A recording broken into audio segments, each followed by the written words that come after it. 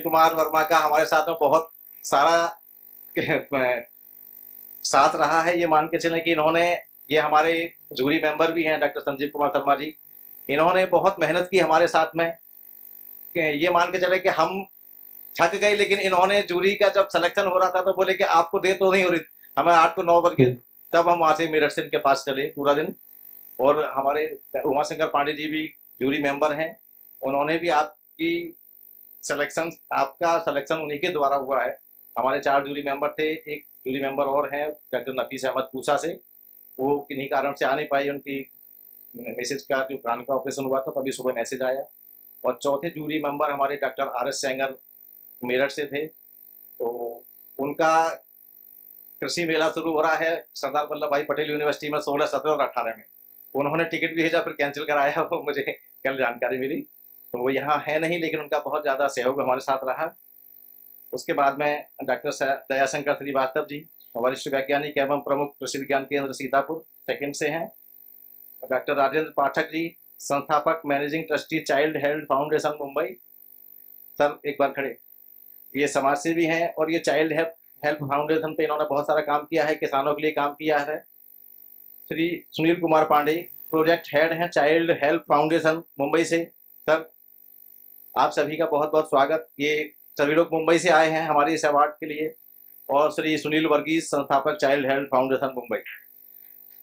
ये हमारे सभी लोग मुख्य विशिष्ट अतिथि हैं। मुख्य अतिथि हमारे दिनेश प्रताप मंत्री जी अभी बारह, साढ़े बारह बजे तक आएँगे। तो मैं सभी का बहुत बहुत धन्यवाद करना चाहता हूँ और उसके साथ में आप सबका, जो अभी यहाँ किसान सब लोग आए हैं, आपने बहुत मेहनत की है। आप, देखिए, आप में, आप लोग चुने गए, लेकिन बहुत सारे लोग ऐसे थे कि नहीं चुने गए, लेकिन वो सभी एक से बढ़कर एक थे। हमारे मैनेजिंग डायरेक्टर अनंत सर बैठे हैं, हमारे सर सर एक बार खड़े आदरणीय सर, इनके निर्देश पर सारा काम हुआ, हमने किया। तो जब सर ने हम, आपने नॉमिनेशन फॉर्म भेजे तो सर रह के दंग रह गए आपके काम को देख के। आपने इतना काम किया कि मैं इतना खुश हुए सर की, कि भानु ये तो कमाल हो गया। ये हमने पहले क्यों नहीं सोचा? अवार्ड हमने पहले भी किए। लेकिन वो उतने बड़े स्तर पे नहीं किए थे, हम करते रहे थे, हम अपने लेवल पे करते थे। बहुत सारी जगह हमने किया, लेकिन ये बड़ा अवार्ड हमारी एक पहली शुरुआत है, बड़ी शुरुआत है। और इस अवार्ड को हम स्टेट लेवल पे अलग अलग राज्य स्तर पे अलग अलग लेके जाएँगे। मध्य प्रदेश में करेंगे, राजस्थान में करेंगे, बिहार में करेंगे। तो एक हम सोच रहे हैं कि एक सीरीज़ चलाएँगे। तो इसी तरीके से हम किसानों को सम्मानित करने का काम करेंगे। तो मैं अब आता हूँ थोड़ी सी फार्मन फ़ूड के बारे में। बात बताता हूँ कि देखिए फार्मन फ़ूड की पत्रिका 2008 में शुरू हुई थी। दिल्ली प्रेस का प्रकाशन है। दिल्ली प्रेस हमारा देश का सबसे बड़ा समूह है पत्रिकाओं का। जिससे तीस पत्रिकाएँ। मैं चाहूँगा जरा क्लिप चलाएँ दिल्ली प्रेस की एक मिनट। एक बार वो देख लीजिए, फिर मैं बताता हूँ।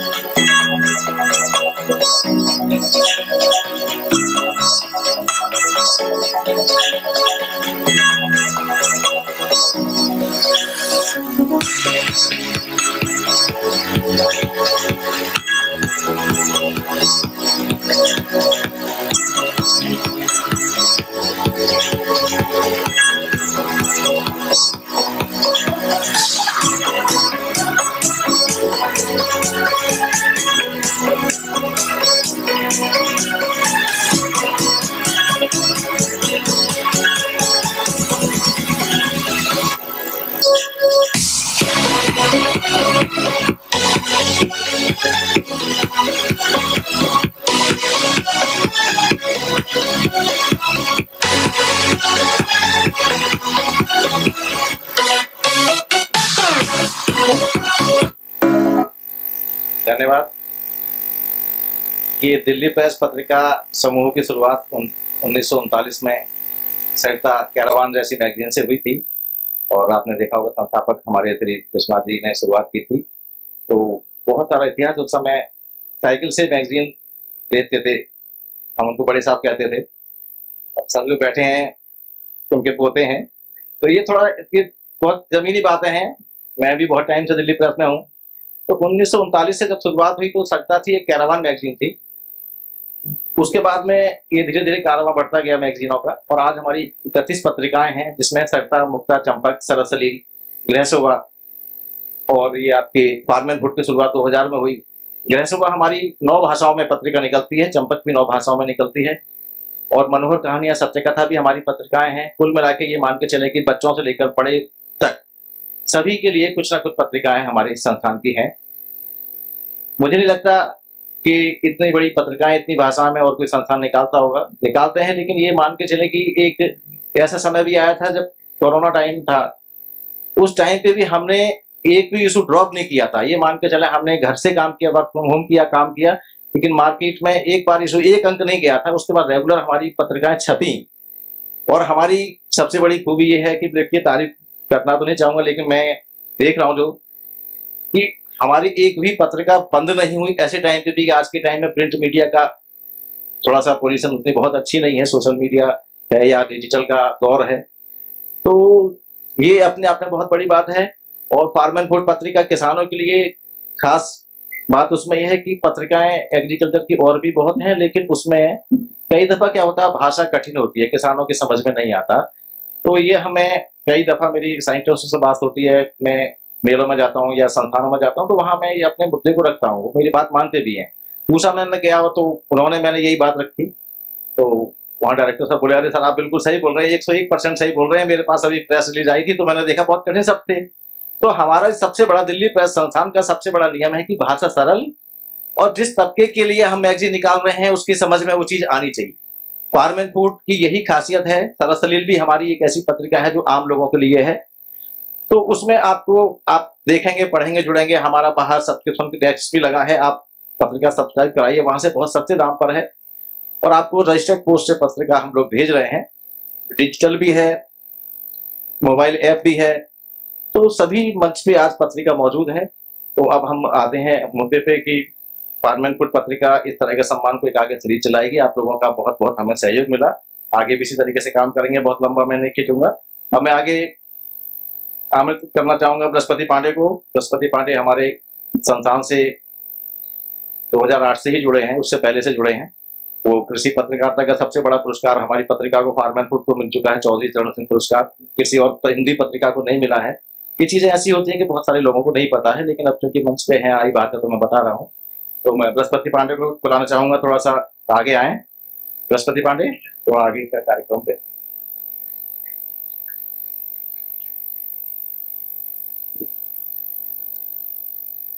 सर्वप्रथम हम सभी अतिथियों का और सम्मानित किसानों का स्वागत करते हैं। एक बड़ा अवसर है जब हम उत्तर प्रदेश की राजधानी लखनऊ में उत्तराखंड और उत्तर प्रदेश के उन किसानों के साथ एकत्रित हुए हैं, जिन्होंने खेती में कुछ अलग हट करके किया है। अपनी न केवल आमदनी बढ़ाई है, बल्कि अपने जैसे सैकड़ों और हज़ारों किसानों की आमदनी बढ़ाने में योगदान दिया है। और ये जो कारवा था, ये आदरणीय श्री अनंत नास्कर के नेतृत्व में हम लोगों ने इसकी शुरुआत की, लगभग छह महीने पहले इसकी शुरुआत हुई थी। और इसका जो प्लानिंग हुआ था, ये किया गया था कि उत्तर प्रदेश और उत्तराखंड के ऐसे किसानों को आमंत्रित किया जाए और वो भी प्रोसेस से कि जिन्होंने खेती में लागत में कमी लाते हुए तकनीकी का इस्तेमाल किया है और न केवल आपदा न्यूनीकरण में सफलता पाई है, बल्कि लागत को देखते हुए अपनी आमदनी जो है दो से तीन गुना बढ़ाई है। तो इसके लिए पूरा लगभग दो महीने तक प्लानिंग चला उसके लिए तेरह कैटेगरियाँ बनाई गई थी। विभिन्न कैटेगरियों में को कई बार फ़िल्टर किया गया और उसके बाद ये आवेदन कृषि विज्ञान केंद्रों और कृषि संस्थानों को प्रेषित किए गए थे। और इन कृषि विज्ञान केंद्रों और कृषि संस्थानों के ज़रिए जो किसान थे, उनका नॉमिनेशन आमंत्रित किया गया था। और नॉमिनेशन लगभग 300 के करीब नॉमिनेशन प्राप्त हुए, जिसमें महिला किसान, युवा किसान इनोवेटिव फ़ार्मिंग करने वाले या कृषि में यंत्रीकरण अपनाने वाले किसान शामिल हैं। इन किसानों ने जो आवेदन भेजे थे, उसमें उनकी जो, उनके साथ जो अटैचमेंट लगाए गए थे, उसको देख करके लगता था कि उनका जो अनुभव है, उसके ज़रिए उन्होंने समाज में कृषि के ज़रिए बदलाव लाने का बड़ा काम किया है। और इसके लिए पूरी एक स्क्रीनिंग की प्रक्रिया अपनाई गई एक जूरी बनाई गई और जूरी में उन एक्सपर्ट्स को रखा गया जो मुद्दे शामिल किए गए थे कृषि के, चाहे बागवानी के हो, पशुपालन के। और ऐसे में बड़ा मुद्दा है पानी। पानी के ज़रिए चाहे हमारा जीवन हो या खेती हो, सब कुछ पानी पर निर्भर है और देश का जो पहला पानी का पद्मश्री अवार्ड मिला वो आदरणीय श्री उमाशंकर पांडे जी को मिला। और भारत के इतिहास में ऐसा हुआ है कि पानी जैसे मुद्दे पर जो कि जल संरक्षण की बात कर रहे हैं, पीने की बात नहीं कर रहे हैं। अगर जल संरक्षण होता है तो वह पीने के भी काम आएगा और सिंचाई के भी काम आएगा। इसके अलावा केंद्रीय गौ अनुसंधान संस्थान के वरिष्ठ वैज्ञानिक हैं वर्मा सर। उनके पास जब स्क्रीनिंग चल रही थी, हम लोग आवेदन लेकर के गए तो हमें लगा था कि कुछ देर में वो स्क्रीनिंग कर देंगे और जूरी को समाप्त कर देंगे, लेकिन रात हो गई, हम लोग दस बजे जूरी समाप्त हुई थी। और इसी में, इसमें दिल्ली प्रेस का किसी तरीके का इंटरफेयर नहीं था। जितने भी जूरी मेंबर थे, उनकी, उनको पूरी तरीके से स्वतंत्रता दी गई थी कि वो अपने स्तर से आवेदन की स्क्रीनिंग करें और किसानों का चयन करें। तो बड़ी पारदर्शी प्रक्रिया को अपनाते हुए फार्म एंड फ़ूड अवार्ड को फाइनलाइज किया गया और अवसर है कि हम एक साथ एकत्रित हुए हैं और सबसे बड़ी बात आधी आबादी की होती है। हम आधी आबादी की बात करते हैं, समानता की बात करते हैं। आप देख रहे होंगे हाल में कि जितना संख्या पुरुषों की है, उतनी महिलाओं की है। तो जेंडर इक्वलिटी की बात अगर की जाए तो हमने इस अवार्ड में पूरा ध्यान दिया है और बहुत सारी ऐसी महिलाएँ हैं जिनका करोड़ों में व्यापार है। अभी जब महिलाओं का क्लिप चलेगा तो आप देखेंगे कि ऐसी महिलाएँ हैं जो औषधीय मशरूम उत्पादन कर रही हैं उत्तराखंड से आए हैं। ऐसी महिलाएँ भी हैं जो डेयरी उत्पादन में काम कर रही हैं, गोबर छूने में हम लोग डरते हैं। तो बहुत सारे लोगों ने ऐसे ऐसे किसानों ने अप्लाई किया जो बड़ी बड़ी नौकरियाँ छोड़ करके मैनेजमेंट का कोर्स करके इंजीनियरिंग का कोर्स करके, विदेशी नौकरियाँ छोड़ करके आए और उन्होंने खेती को अपनाया और अपने जैसे सैकड़ों और हज़ारों किसानों की बात करें, क्योंकि प्रत्यक्ष और अप्रत्यक्ष की बात होती है तो प्रत्यक्ष और अप्रत्यक्ष रूप से हज़ारों लोगों के जीवन में बदलाव लाने का काम किया जैसा सर बता रहे थे कि दिल्ली प्रेस थोड़ा सा क्लिप शार्ट चला, दिल्ली प्रेस के अगर इतिहास की बात की जाए तो आदरणीय विश्वनाथ सर ने इसकी स्थापना की थी 1940 में और पहली मैगजीन कारवां शुरू हुई थी, उसके बाद सरता शुरू हुई, मुक्ता सुबह बहुत सारी मैगजीनें आई और दस भाषाओं में तैतीस मैगजीनें निकली और कारवां को भी हिंदी में भी किया गया है। देश की एकमात्र ऐसी मैगजीन है जो मुद्दा, मुद्दे को उठाती है। आम जो वंचित समाज है, उस, उनके, उन तक पहुँचती, उनके जन सरोकारों को उठाती है। तो दुनिया भर में इस तरह के जो मीडिया संस्थान हैं, कुछ गिने चुने हैं और भारत के सबसे बड़े मीडिया संस्थानों में है दिल्ली प्रेस। तो दिल्ली प्रेस के ज़रिए अगर किसान सम्मानित होते हैं, उत्तर प्रदेश और उत्तराखंड से आज आगाज़ हो रहा है, और ये फिर कारवा धीरे धीरे जैसा कि भानु सर ने बताया कि हम लोग मध्य प्रदेश भी जाएँगे बिहार भी जाएँगे, राजस्थान भी जाएँगे वो तो इसलिए हो रहा है कि अभी तक किसानों को के प्रति जो नज़रिया था चाहे अधिकारियों का रहा हो या कारपोरेट घराने का रहा है, वो हीन भावना की होती थी। लेकिन लेकिन इसमें ऐसे किसान बैठे हैं जिनको कारपोरेट घरानों से ज़्यादा इज़्ज़त मिली है आ, उनके आप क्लिप देखेंगे तो आपको पता चलेगा कि जो कारपोरेट घरानों से लोग ताल्लुकात रखते हैं अगर वो किसान ऐसे जगहों पे जाते हैं तो उनको उनसे ज़्यादा तवज्जो मिल, मिलना शुरू हो गया है। और उसका एक जीता जाता उदाहरण तो हमारे सामने अगली रो में बैठे हुए हैं उमा शंकर पांडे जी। एक किसान परिवार से ताल्लुकात रखते हैं किसानों के मुद्दे को उन्होंने उठाया और आज भारत भर में वो अपने जो अनुभव है शेयर कर रहे हैं। तो अभी हम सीधे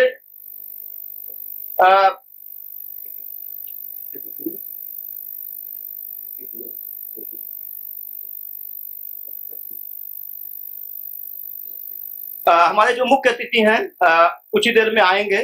तब तक हम अवार्ड सेरेमनी को शुरू करते हैं, इसको चार सेशन में बांटा गया है। और ये चार सेशन इसमें अलग अलग कैटेगरी में हम लोगों ने रखा है। तो पहला जो सेशन है, उसकी शुरुआत हम करेंगे।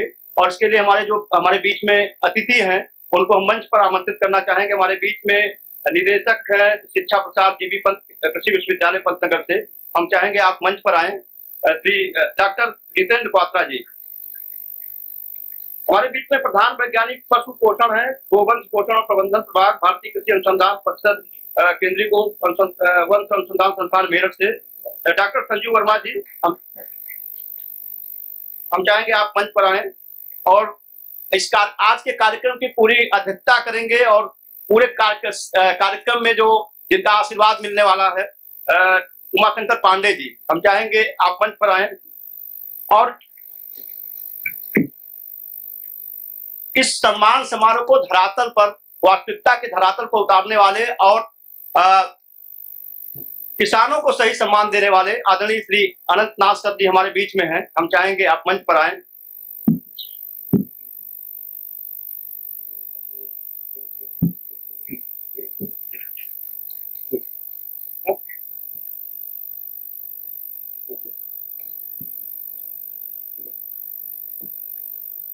हम अवार्ड सेरेमनी के पहले सेशन की तरफ़ चले। उसके पहले हम चाहेंगे हमारे कार्यकारी संपादक महोदय श्री अनंतनाथ जी हैं और हमारे अतिथियों को पुष्प गुच्छ दे करके स्वागत करें। श्री अनंतनाथ जी हमारे जो आज के अध्यक्ष महोदय हैं, श्री उमाशंकर पांडे जी को पुष्प गुच्छ देकर के उनका स्वागत करेंगे।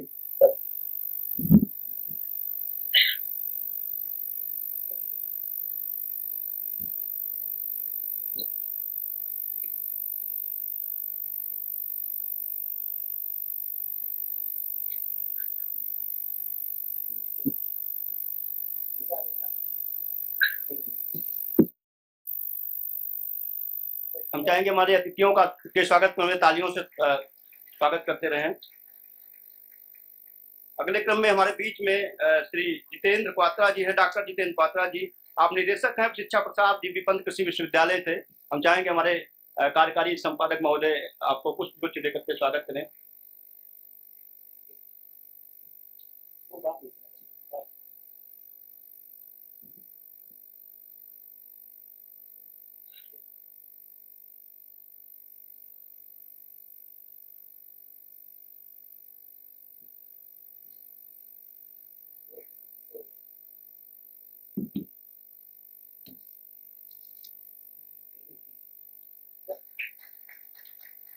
श्री डॉक्टर जितेंद्र पात्रा जी को आदरणीय संपादक महोदय द्वारा स्वागत करते हुए और अगले क्रम में डॉक्टर संजीव कुमार वर्मा जी हैं, प्रधान वैज्ञानिक गोवंश पोषण प्रबंधन विभाग, भारतीय कृषि अनुसंधान परिषद, केंद्रीय गोवंश अनुसंधान संस्थान मेरठ से। चाहेंगे आदरणीय संपादक जी आपका स्वागत करें पुष्प देकर के।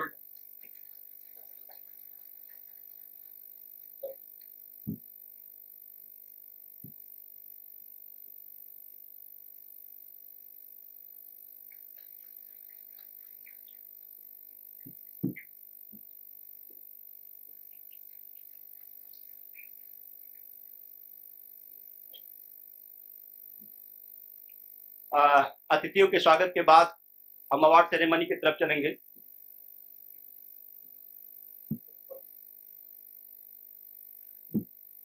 भारत की इकोनॉमी जो है, अर्थव्यवस्था है, पूरी तरीके से अगर कहा लिया जाए तो सिर्फ़ और सिर्फ़ कृषि पर आधारित है और कृषि से ही जुड़े जितने उद्योग हैं, उनके ज़रिए जो भारत की आमदनी है, चाहे वो विदेशी मुद्रा की बात की जाए या भारत के जो जीवन स्तर की बात कर जाए, चाहे हम सस्टेनेबल डेवलपमेंट गोल की जो बात करते हैं, सतत विकास लक्ष्य की, उसका एक ज़ीरो हंगर इशू है।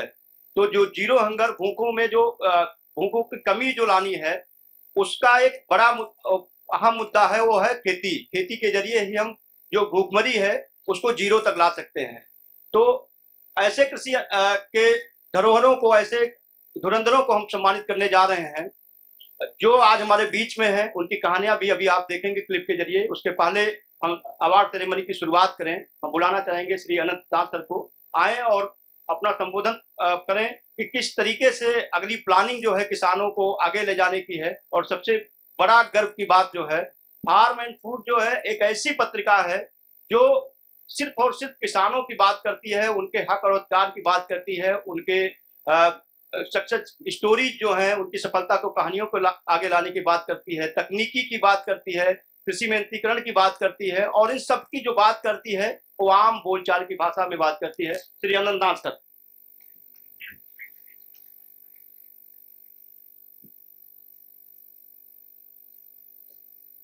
नमस्कार। सबसे पहले तो धन्यवाद आप सबका यहाँ इस कार्यक्रम में भाग लेने का, इस अवार्ड सेरेमनी में भाग लेने का। जूरी के मेंबर्स को धन्यवाद इस मुहिम का समर्थन करने का और उसका मार्गदर्शन करने का। मैं दिल्ली प्रेस के बारे में ज़्यादा नहीं बोलूँगा बिकॉज़ uh, क्योंकि भानु जी ने और बृहस्पति ने ऑलरेडी हमारी पत्रिका समूह के बारे में बोला है। मैं अपने बारे में बोलूँगा कि मैं यहाँ क्यों हूँ। मैं यहाँ ऑफकोर्स इसलिए हूँ क्योंकि मैगजीन हमारी है। फार्म एंड फ़ूड पत्रिका 2000 में शुरू की गई थी। लेकिन उससे ज़्यादा मैं एक यहाँ पे स्टूडेंट के तौर पे आया हूँ। मैं एक शिक मतलब शिक्षा के माध्यम से आया हूँ बिकॉज़ इस क्षेत्र के बारे में आप सबसे मैं सबसे कम जानता हूँ? आप सब लोग सब लोग इसमें एक आप लोगों ने प्रोग्रेसिव काम किया है, अपने अपने क्षेत्र में, अपने एक एक्सीलेंट काम किया है। मेरी खुद की यात्रा एक तरह से फ़ार्मिंग से, देखा जाए तो बहुत जल्दी शुरू हुई थी, क्योंकि मेरी दादी 1990 से उनको एक शौक चढ़ा एग्रीकल्चर लैंड मैनेज करने का तो 19 से 1990 से उन्होंने हरियाणा में पलवल हरफली इन जगहों पे काफ़ी सारी एग्रीकल्चर लैंड खरीदी और उसपे वो हम हमारा एक एक तरह से महीने का एक चक्कर लगता था कि हम एग्रीकल्चर लैंड में जाते थे वहाँ पे खेती बाड़ी देखते थे। उस समय तो खैर मैं बच्चा ही था ज़्यादा मालूम भी नहीं था आज भी वैसे ज़्यादा नहीं मालूम है। लेकिन उस समय तो एक एक, एक ये ग्रांटेड था कि चलो एग्रीकल्चर लैंड है हो रहा है पिकनिक बन रही है। लेकिन उसका महत्व क्या है, ये बहुत देर बाद समझा। अभी भी वो एग्रीकल्चर लैंड हमारे पास है, उसमें खेती बाड़ी होती है, पर मुझे बहुत कम मालूम है। मेरा खुद दिलचस्पी इस क्षेत्र में हुआ कोविड के टाइम पे बिकॉज़ मैंने अपने घर में ही एक छोटा सा फार्म स्टार्ट किया।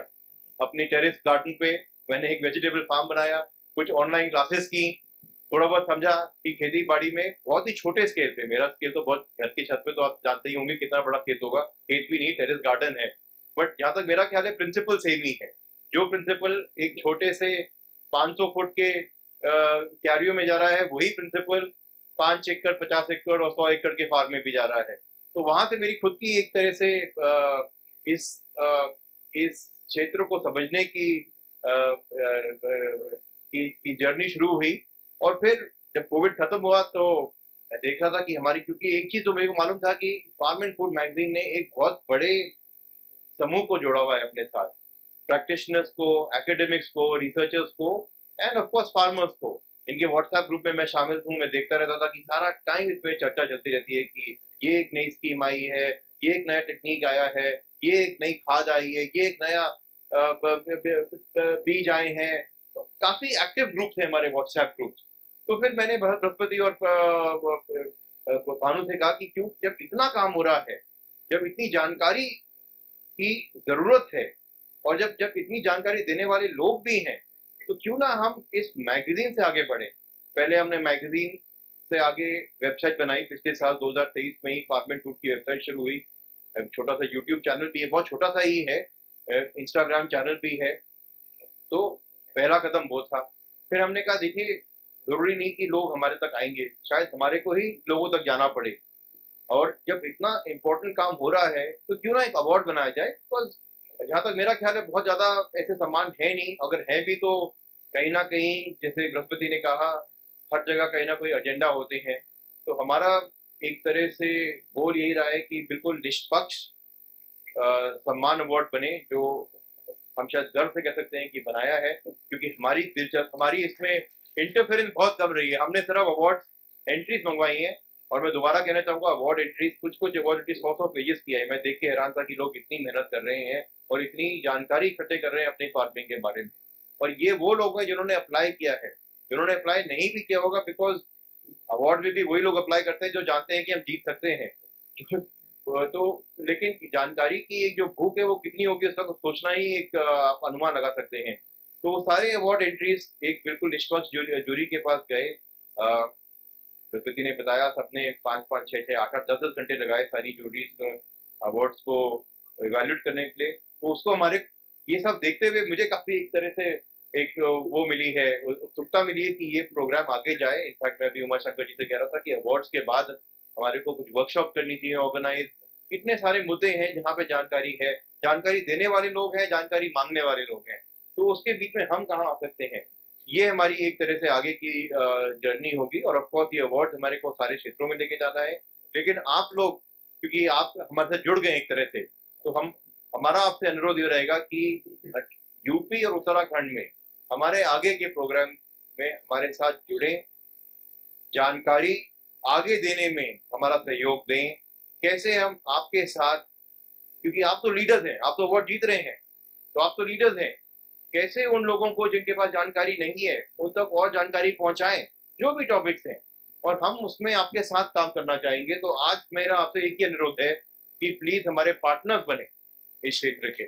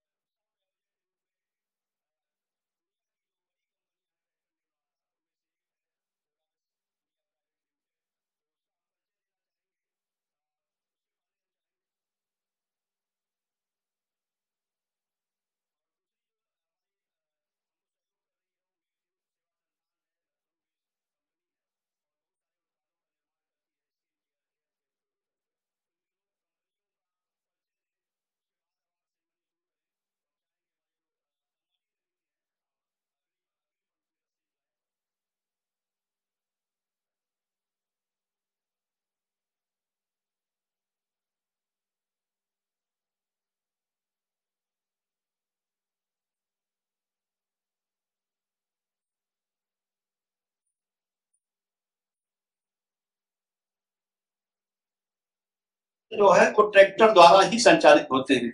लेकिन देश में जो किसानों का तबका है, वो मझोले और छोटे किसानों का ज़्यादा है, उनकी आबादी ज़्यादा है। तो ऐसे में जो बड़े ट्रैक्टर हैं, उनका उपयोग बड़े किसान ही कर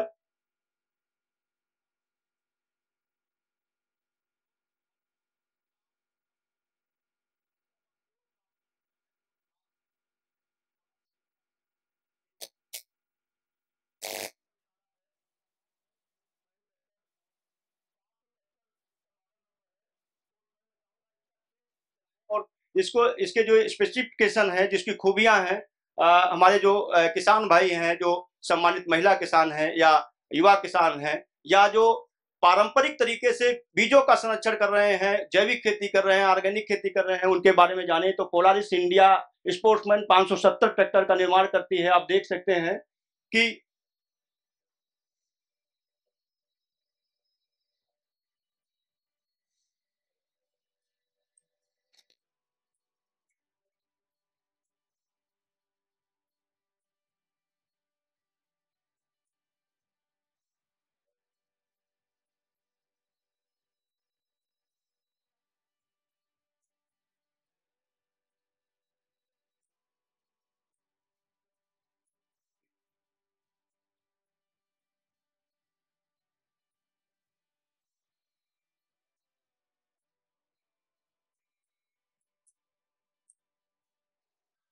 outside.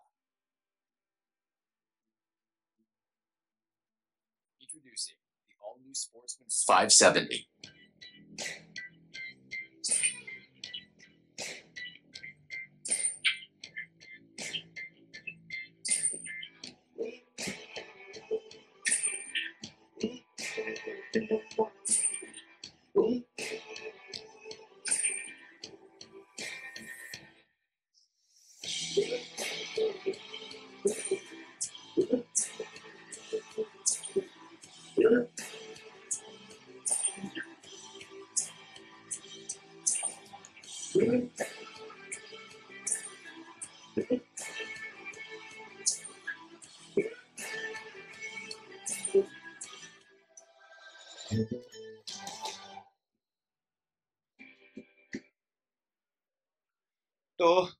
Polaris tractor का एक संक्षिप्त परिचय था और आपने देखा आ, हमारे इस बीच में उत्तराखंड के बहुत सारे किसान साथी हैं और हम लोग सभी लोग जानते हैं कि जो पहाड़ी एरिया है वहाँ पर कंटूर फ़ार्मिंग होती है सीढ़ीदार खेत होते हैं और वहाँ पर आज भी बैलों से ही खेती होती है। उसका एक बड़ा कारण है कि जो बड़े ट्रैक्टर हैं उनके ज़रिए वहाँ पर खेती नहीं की जा सकती है। तो पोलारिस ट्रैक्टर ने जो मॉडल उठा रहा है पाँच सौ सत्तर स्पोर्ट्समैन ट्रैक्टर ये न केवल सड़क पर चलने के लिए उबर खाबर रास्तों पर चलने के लिए, पगडंडियों पर चलने के लिए, बल्कि भारत का जैसा भी मैं मुझे पता है कि भारत के मात्र ट्रैक्टर है जो सड़कों पर, पगडंडियों पर उबर खाबर रास्तों से लेकर के कंटूर फ़ार्मिंग वाले एरिया में भी किसानों के लिए बड़ा खेती का माध्यम और साधन बन सकता है। तो सभी किसान, जो छोटे और मझोले किसान हैं, उनके लिए बड़ा फ़ायदेमंद यंत्र साबित हो सकता है। दूसरा हमारा सह प्रायोजक है वो मेघदूत एक जाना पहचाना नाम है जो लखनऊ बेस्ड कंपनी है और बहुत सारे हर्बल प्रोडक्ट बनाती है। चाहे वो हमारे सेहत से जुड़े हों या हर्बल फ़ूड प्रोडक्ट बनाते हों या जैसे खाने में बहुत सारे ऐसी उपयोगी चीज़ें हैं जो हम, हमको सेहतमंद बनाती हैं। हमारे हेयर केयर की बात हो स्किन केयर की बात हो, बहुत सारे ऐसे प्रोडक्ट हैं जो दैनिक जीवन में हमको ज़रूरत होती है या सेहतमंद बनाए रखने के लिए ज़रूरत होती है। तो मेघदूत सेवा संस्थान द्वारा इस तरह के प्रोडक्ट का निर्माण किया जाता है मैन्युफैक्चरिंग की जाती है और उसकी उसका निर्यात न केवल भारत में होता है बल्कि विदेशों में होता है। यानी मेघदूत सेवा संस्थान एक मैन्युफैक्चरर के तौर पर, एक निर्यातक के तौर पर और एक मार्केटिंग कंपनी के तौर पर भारत में जानी जाती है और आम लोगों तक इसकी पहुँच है। तो हम चाहेंगे इस तरह के जो आयोजन हैं किसानों के लिए हम लोग कर रहे हैं इस तरह की जो कंपनियाँ हैं, बढ़ चढ़ के आगे आए, जिससे हम सभी राज्यों में हमारी पहुँच बने और हम ऐसे किसानों का स्वागत कर पाए। तो अगले क्रम में हम अवार्ड की तरफ़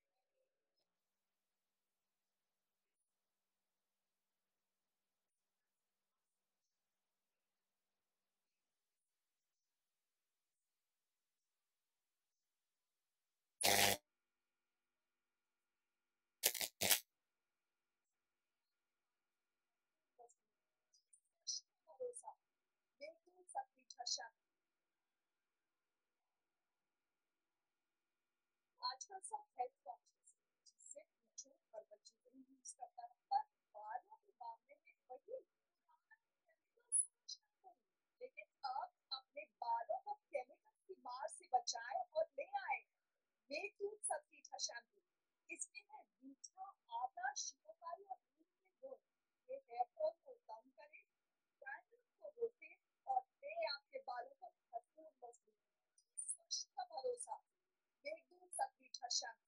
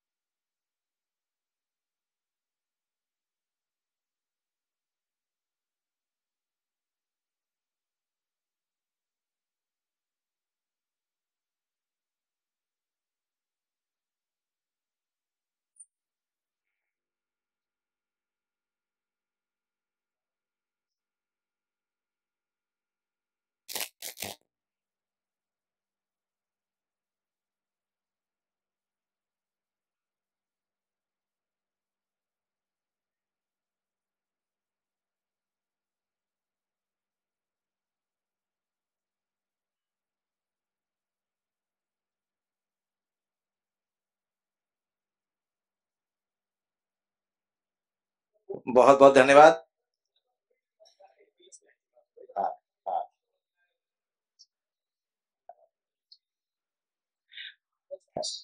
और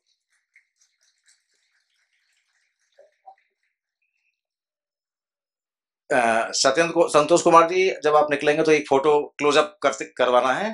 हाँ। ठीक है, धन्यवाद। एक कोई भी फोटोग्राफर एक क्लोजअप खींचता चला जाए बस। आप आगे आ जाइए, संतोष जी आगे आ जाइए इसी कड़ी में मैं दूसरा नाम लेना चाहूँगा, राममूर्ति मिश्रा जी। नहीं, माफ़ करिए, श्री शाश्वत पांडे जी, जो त्रिसागर फार्मर प्रोड्यूसर कंपनी से हैं। ये अभी जो दो अवार्ड हैं बेस्ट एफपीओ के लिए हैं। हमने हर एक कैटेगरी से लगभग दो अवार्ड चुने हैं।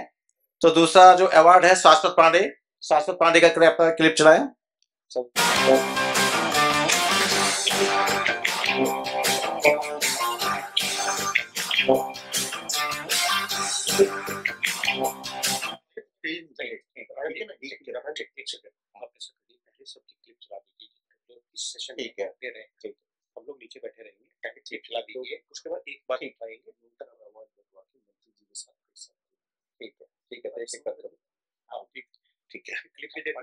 देखिए कुछ कमियाँ रह सकती हैं। नहीं मैं तो मैं क्योंकि हम लोग देखो ऑफ़िस में काम करते हैं तो कुछ चीज़ें अभी हम क्या करते हैं और ये हमारी इस मंच से एक बड़ी शुरुआत हम करने जा रहे हैं तो आपका सहयोग मिलेगा ऐसी मैं आशा करता हूँ। तो अभी हम जो है पहली कैटेगरी में जो हमारे दस किसान हैं मैं उनके नाम ले रहा हूँ Shri Santosh Kumar Samriddhisheel farmer producer company best FPO award. दूसरे किसान हैं Shri Shashwat Pandey Shri Sagar farmer producer company best APO award. आप और तीसरे किसान है Shri Rammurti Mishra, best farmer award in innovative farming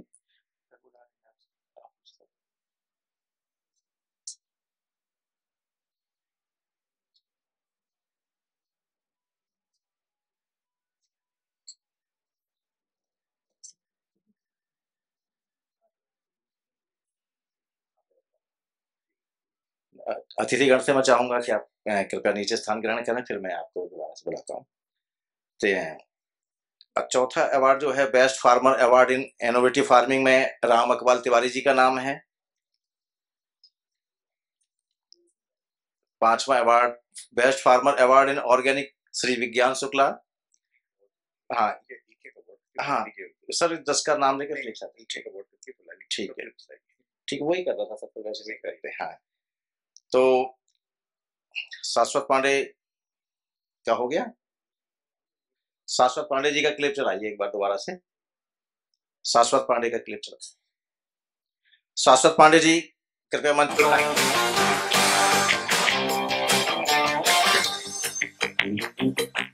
शाश्वत पांडे।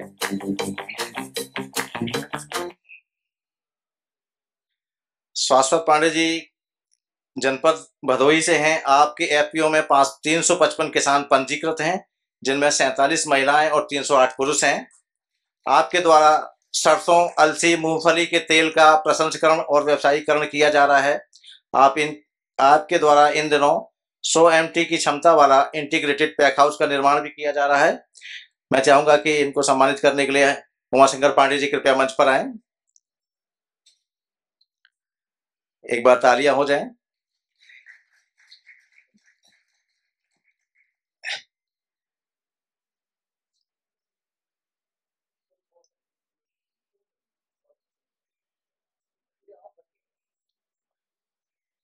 सर सर्टिफिकेट भी ले लीजिए।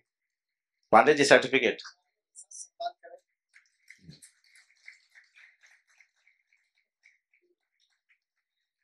धन्यवाद।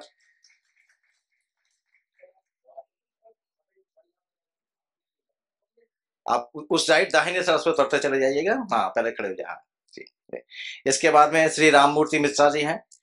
Best partner award in party के लिए।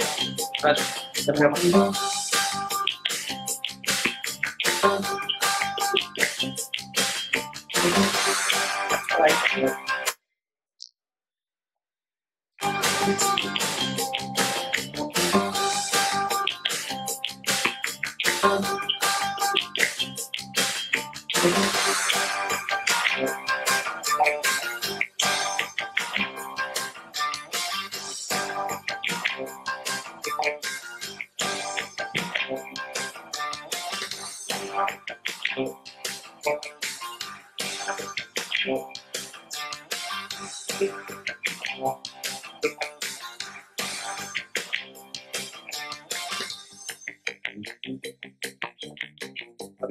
उमाशंकर पांडे सर, आप मंच पे ही रहेंगे। जब मैं कहूँगा तब आप जाइएगा प्लीज़ देखिए राममूर्ति मिश्रा जी बस्ती जनपद से हैं और आपने खेती में नवाचार और जैविक खेती के लिए बहुत काम किया है। राममूर्ति मिश्रा नवाचारों के लिए आई आर का अवार्ड भी मिला है आपके द्वारा किए गए नवाचारों के लिए। किसानों की आय बढ़ाने में काम कर रहे हैं, आपकी सफलता की कहानियाँ देश के कई प्रतिष्ठित संस्थानों में छपी है। आपका बहुत बहुत धन्यवाद। हाँ। हाँ आप बुला लो हाँ। इस एक और कर दो। हाँ ये बोल रहे हैं। इसके इसके बाद में best farmer award in innovative farming में जा रहा है श्री राम अकबाल तिवारी जी को। श्री राम अकबाल तिवारी जी।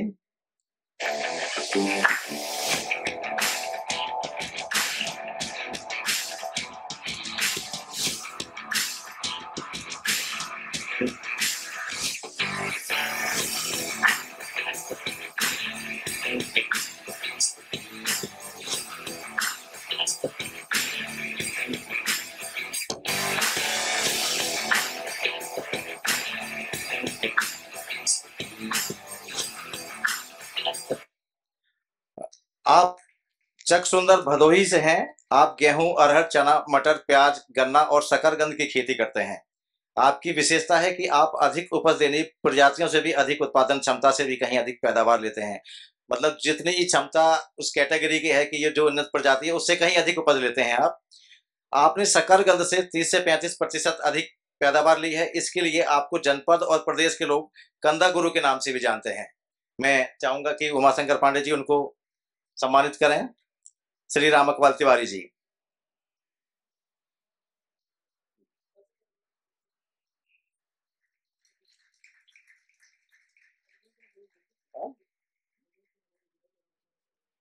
इसके बाद में मैं आदरणीय सबसे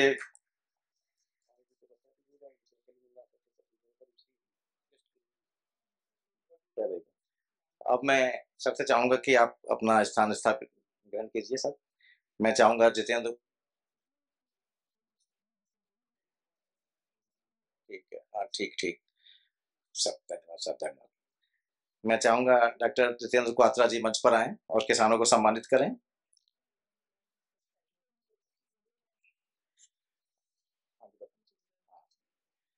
अगला award best farmer award in organic के लिए जा रहा है। आज के टाइम में ऑर्गेनिक पर बहुत ज़्यादा काम हो रहा है और ऑर्गेनिक में सही बताएँ तो बहुत सारे नॉमिनेशन आए थे, बहुत सारे नॉमिनेशन आए, उसमें हमें बहुत दिक्कत हुई क्योंकि सब एक से एक बढ़कर एक थे। तो मैं चाहूँगा श्री विज्ञान शुक्ला जी आए, organic best farmer award in organic. Shri Vigyan Shukla ji.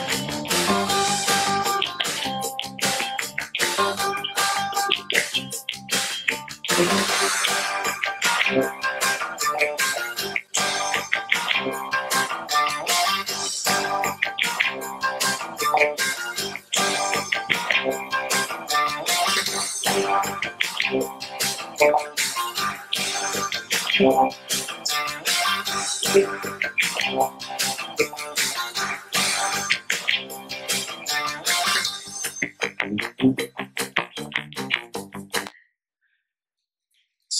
Shukla ji, आप बांधा बुंदेलखंड से हैं। 400 एकड़ भूमि पर प्राकृतिक तरीके से अनेक फ़सलों का उत्पादन करते हैं और दो गुना से अधिक पैदावार लेते हैं। 150 एकड़ पर बागवानी भी कर रहे हैं। इसके अलावा आपके पास 535 साहिवाल, गिरी थापरकर नस्ल की गाय भी हैं, जिनका घी आप साढ़े तीन हज़ार रुपये प्रति किलो तक लखनऊ, दिल्ली और मुंबई तक पहुंचाते हैं। आपने पिछहत्तर लोगों को रोज़गार भी दे रखा है।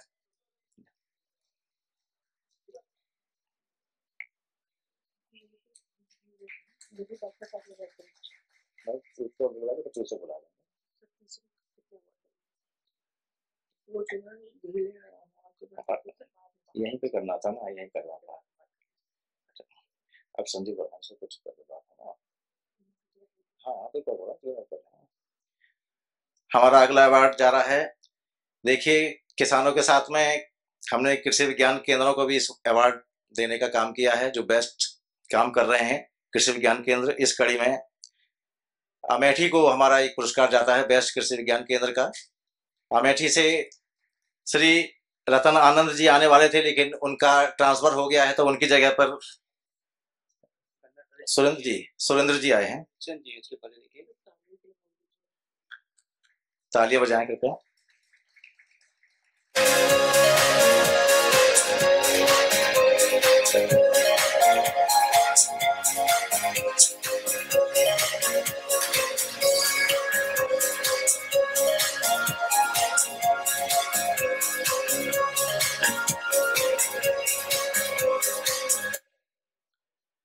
देखिए, जैसा कि आप सब जानते हैं।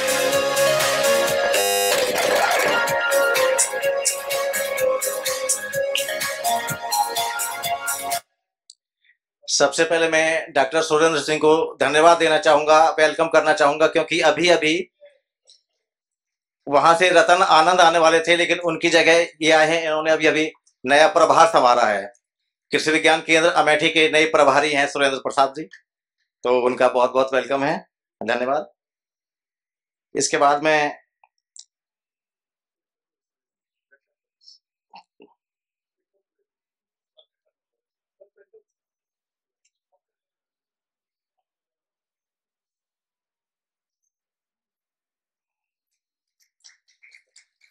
धन्यवाद सर। इसके बाद में मैं best farmer award in organic में एक अवार्ड और रह गया था। कर्नल हरिश्चंद्र सिंह हैं लखनऊ से।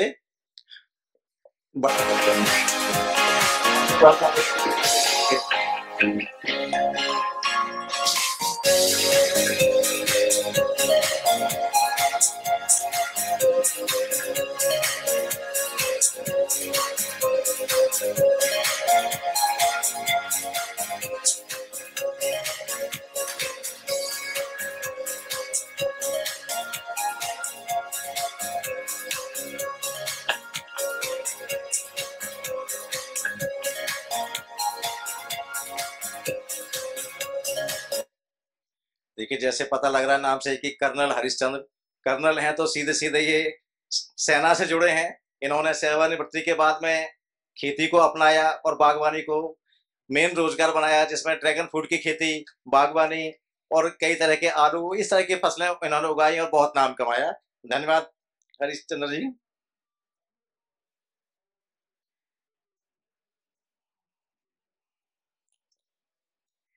सर धन्यवाद। धन्यवाद मिश्रा जी। इसके बाद में बेस्ट कृषि विज्ञान केंद्र एक और चुने गए थे। तो मैं बेस्ट कृषि विज्ञान केंद्र है जौनपुर। जौनपुर से डॉक्टर एस के कनौजिया सर आए हैं क्या? हाँ आइए डॉक्टर एस के कनौजिया जी। मैं उनका सम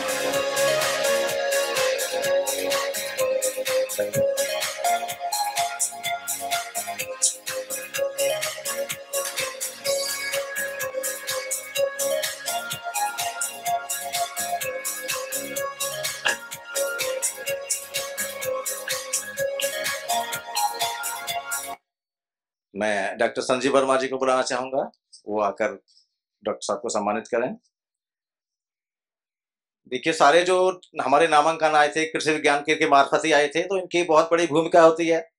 और ये तो एक मैंने पढ़ा भी था कहीं कि कृषि विज्ञान केंद्र एक जिला अस्पताल की तरह होते हैं जहाँ जिस तरीके से मरीजों का इलाज होता है इसी तरीके किसानों की समस्याओं का समाधान होता है। धन्यवाद सर।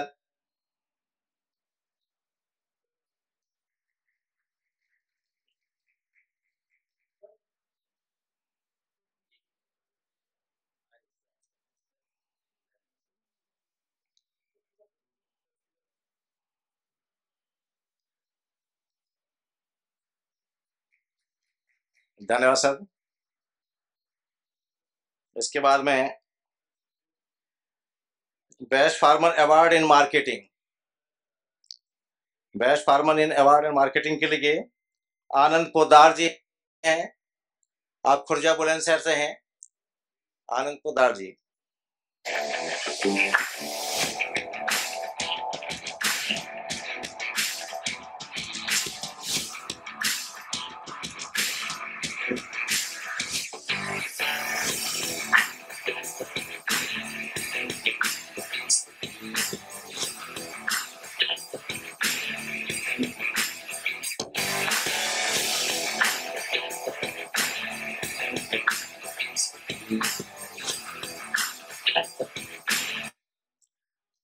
अनंत पोदार जी, मार्केटिंग में इनको बेस्ट फार्मर अवार्ड मिला है। कृपया संजीव वर्मा जी से मैं चाहूँगा कि इनको अवार्ड दे।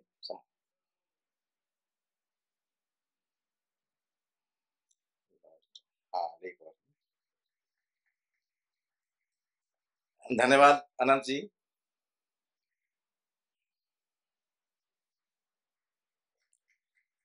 देखिए, तालियाँ बजाते रहें। अगला award best farmer award in marketing के लिए दूसरा अवार्ड जा रहा है हमारा। ये बस्ती से है पुष्प गौतम। बस्ती से पुष्पा गौतम आइए।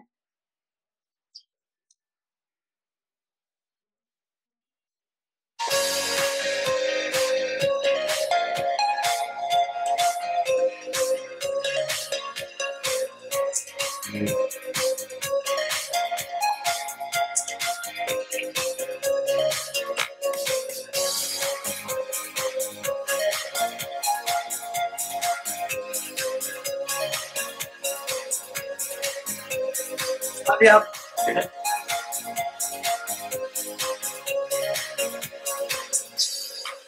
जो भी अवार्डी किसान आ रहे हैं कि वो, मैं चाहूँगा कि मंच की तरफ़ मुँह करके खड़े हों, क्योंकि अपनी वीडियो तो आप देख ही रहे हैं, आप ही की हैं। तो कम से कम आपको पहचान तो सके लोग। पुष्पा गौतम जी के बारे में बताऊँगा, ये बेहरा खास बस्ती से हैं। आप महिला किसान के रूप में दूसरी किसानों के लिए प्रेरणा की स्रोत बनी हुई हैं। आप कृषि उत्पादों की प्रोसेसिंग करके खुद ही उसकी मार्केटिंग करती हैं। इसके अलावा किसानों को, महिला किसानों को खेती की ट्रेनिंग देने का काम करते हैं।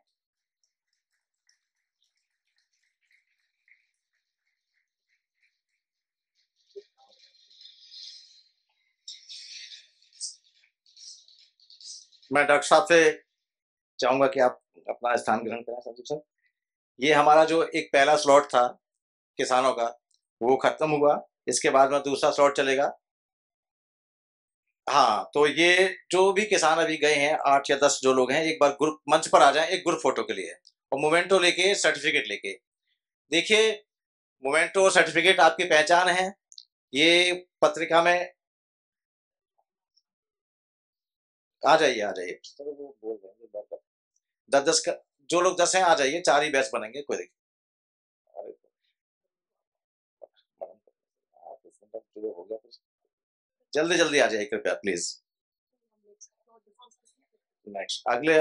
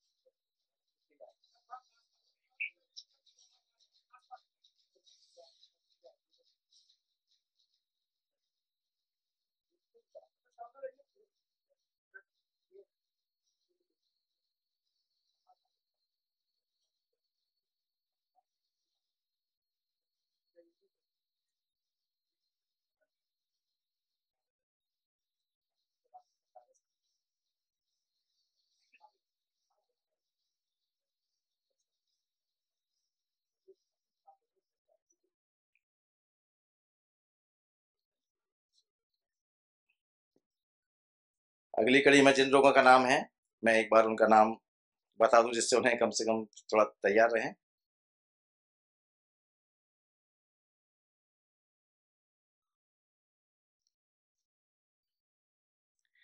नोएडा से हैं, बेस्ट डेयरी एनिमल फ़ार्मिंग में मिलन शर्मा जी हैं। उसके बाद में best dairy animal keeper award में साधना सिंह है गोंडा से। Best farmer award in harvesting and processing में राजेंद्र सिंह दोवलिया बस्ती से। Best farmer award in harvesting and processing में श्रीधर पांडे सिद्धार्थ नगर से। Best farmer award in integrated farming Surendra Prasad Pathak. ये कबीर नगर से हैं, संत कबीर नगर से। इसके बाद में best farmer award in integrated farming Ramji Dubey. Best farmer award in sugar cane production में अरविंद कुमार मलिक बधाई कला मुजफ्फरनगर से। Best farmer award in sugar cane में कौशल कुमार मिश्रा गंगानगर शाहजहाँपुर से और best female farmer award Indumati Singh Lucknow से और best female farmer award Vandana Singh Ranipur Mirzapur से। तो मैं चाहूँगा कि इस गाड़ी को आगे बढ़ाने के लिए बृहस्पति पांडे आए और मंच पे थोड़ा संचालन करें। बृहस्पति कुमार पांडे।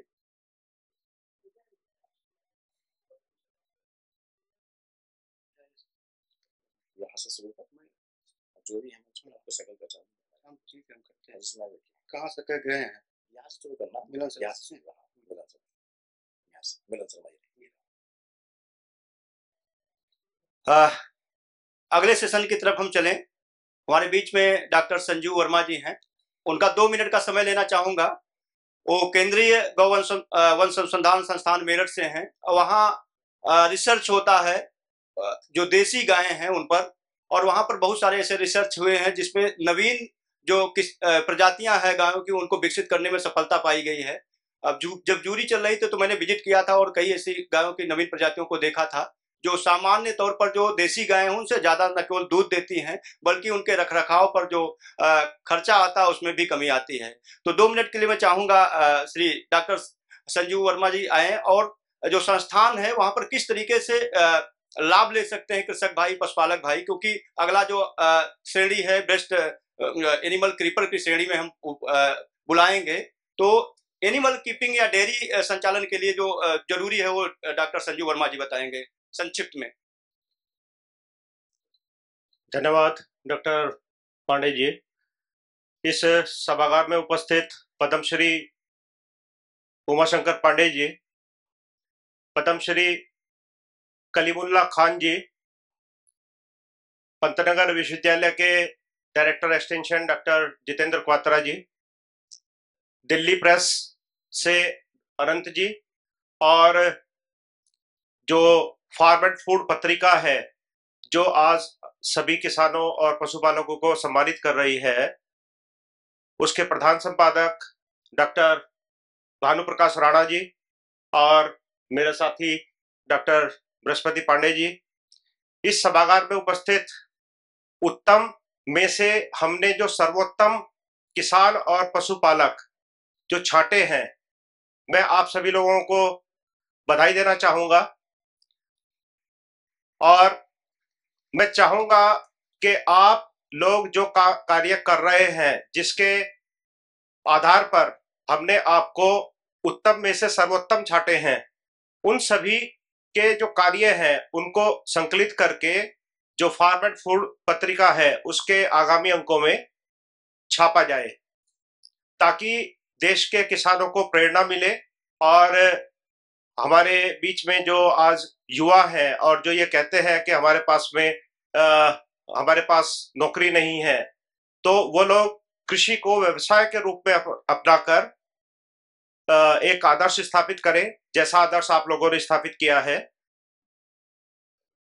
मैं संस्थान के बारे में कहना चाहूँगा कि हमारा जो संस्थान है, वह भारतीय कृषि अनुसंधान परिषद के अंतर्गत आता है, केंद्रीय गोवंश अनुसंधान संस्थान, जो मेरठ में स्थित है, मेरठ छावनी में।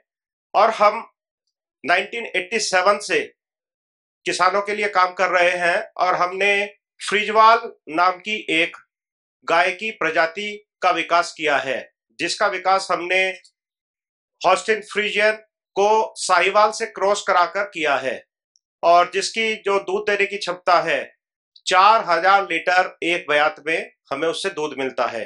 तीन सौ दिनों का हम ब्यात मानते हैं तो हमें टोटल चार हज़ार लीटर दूध की प्राप्ति होती है उससे। और हमारी जो फ्रिजवाल है, उसके दूध में जो फैट का कंटेंट है, वो लगभग चार प्रतिशत है। तो मैं समझता हूँ कि इतनी उत्तम गुणवत्ता की जो पशु नस्ल, गाय की नस्ल हमने विकसित की है, अगर वह हमारे सभी पशुपालक पालेंगे तो इस देश में वैसे तो हम प्रथम स्थान पर हैं दुग्ध उत्पादन में, हमारा देश विश्व में प्रथम स्थान पर है, मगर फ्रिजवाल का योगदान बहुत अधिक हो सकता है और होने वाला है। इसके अलावा हमारे संस्थान में देसी गायों के ऊपर कार्य चल रहा है, हम गिर थारपारकर साहिवाल के ऊपर काम कर रहे हैं इस समय जो आ, हमारा देश है इसके विभिन्न हिस्सों में हमारी गिर यूनिट है साहिवाल यूनिट है और थारपारकर यूनिट है। इसके अलावा अभी आने वाले समय में हम एक दो दुधारू नस्लें जो और है उसको भी इंडक्ट कर रहे हैं अपने प्रोग्राम में। जैसे हम राठी को अभी करने वाले हैं और एक दो ब्रीड और हम लेने वाले हैं जिसके विकास के लिए हम काम करेंगे। तो मैं आप सभी किसानों और पशुपालकों को जो आज यहाँ पर पुरस्कृत किए जा रहे हैं आप सभी को शुभकामनाएँ प्रेषित करता हूँ। और उम्मीद करता हूँ कि आप आ, अपने आसपास अपने इलाके के बाकी लोगों को बाकी किसानों को भी जागरूक करेंगे और उन्हें प्रेरित करेंगे कि वह सब कृषि और संबद्ध विषयों को अपनाकर को व्यवसाय के रूप में अपनाएँ और एक कीर्तिमान स्थापित करें। धन्यवाद।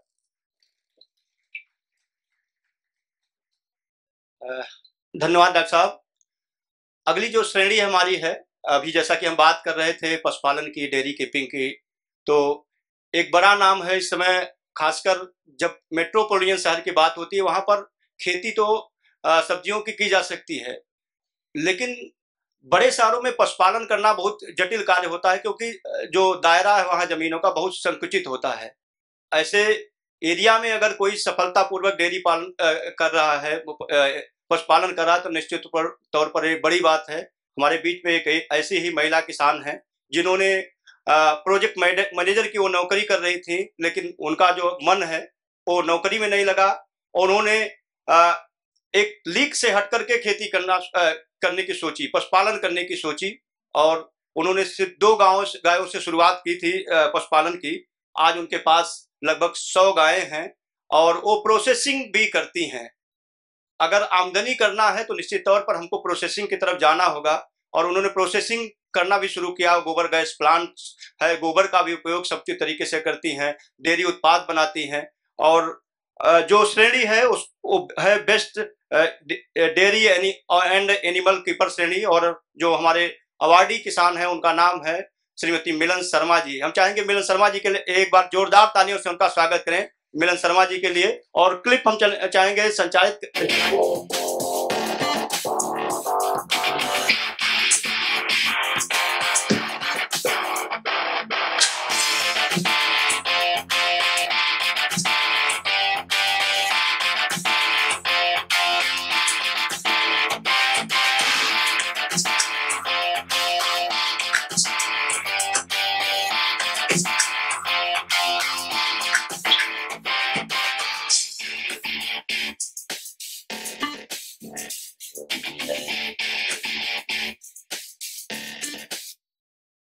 तो इसके लिए हम बुलाना चाहेंगे पद्मश्री श्री कलीमुल्ला सर को। आप आए हमारे जो अगले किसान हैं।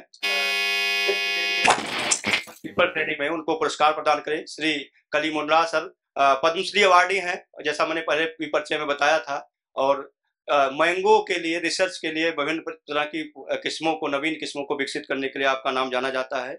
मिलन शर्मा जी नोएडा से हैं और निश्चित तौर पर ऐसी बहुत कम महिलाएँ होंगी जो जो इस तरह की कहानियाँ लिखती हैं सफलता की कहानियाँ लिखते हैं। हम चाहेंगे कलीमुल्ला सर से आप मिलन शर्मा जी को अवार्ड प्रदान करें। कलीमुल्ला सर। हमारे जब भी कोई अवार्डी किसान आते हैं तो उनका हौसला अफजाई के लिए आप जोरदार तालियों से उनका स्वागत करें, हौसला अफजाई करें। मिलन शर्मा जी को best animal keeper and dairy संचालक का अवार्ड प्रदान कर रहे हैं पद्मश्री अवार्डी कलीमुल्ला जी।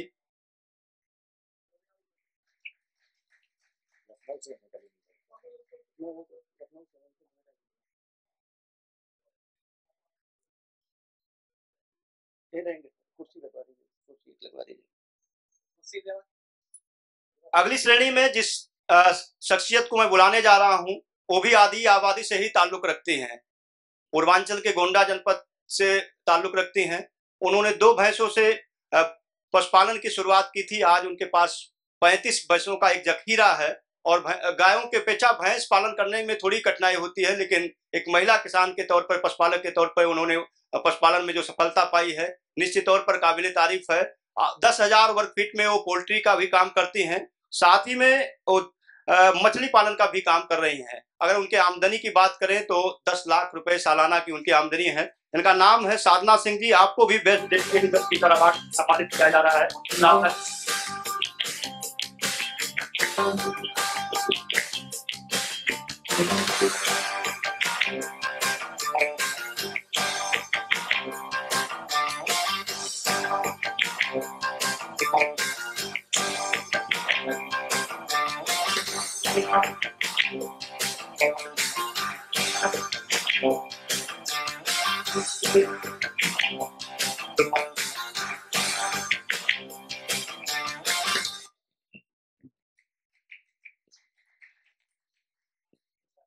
साधना सिंह जी को best animal best dairy keeper का अवार्ड प्रदान करेंगे, श्री पद्मश्री अवार्डी, श्री कलीमुल्ला सर। जोरदार तालियों से स्वागत करें हौसला अफजाई करें आधी अभी आबादी से ताल्लुकात रखती हैं साधना सिंह जी, पैंतीस भैंसों का पालन करती हैं, दस हज़ार स्क्वायर फीट में पोल्ट्री फ़ार्मिंग कर रही हैं, मछली पालन कर रही हैं, और दस लाख रुपए की शुद्ध आमदनी इनकी है। तो निश्चित तौर पर दूसरी महिला किसानों के लिए एक प्रेरणा का काम कर रही हैं साधना सिंह जी।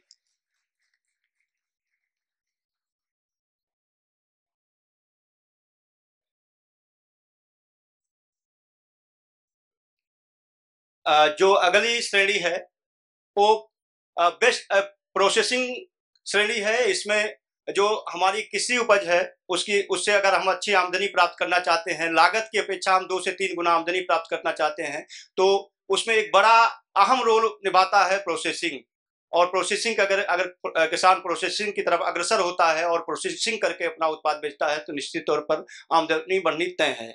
ऐसे ही किसान हैं। राजेंद्र सिंह जी राजेंद्र सिंह जी हल्दी की खेती करते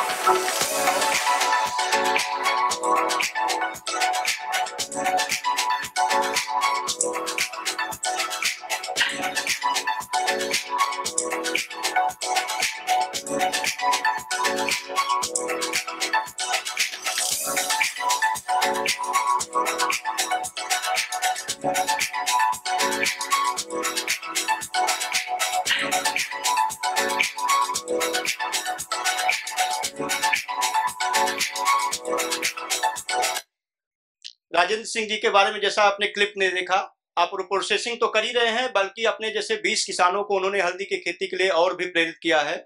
और अगर उनकी उनका उपज बिक नहीं पाता है तो स्वयं उनका उपज खरीदते भी हैं उसकी प्रोसेसिंग भी करते हैं और मार्केटिंग भी करते हैं। तो ऐसे किसान हमारे समाज में दूसरे जो किसान हैं उनके लिए प्रेरणा का, का काम कर रहे हैं। हम चाहेंगे पद्मश्री अवार्डी श्री करमुल्ला जी राजेंद्र सिंह जी को बेस्ट प्रोसेसिंग किसान का अवार्ड प्रदान करें।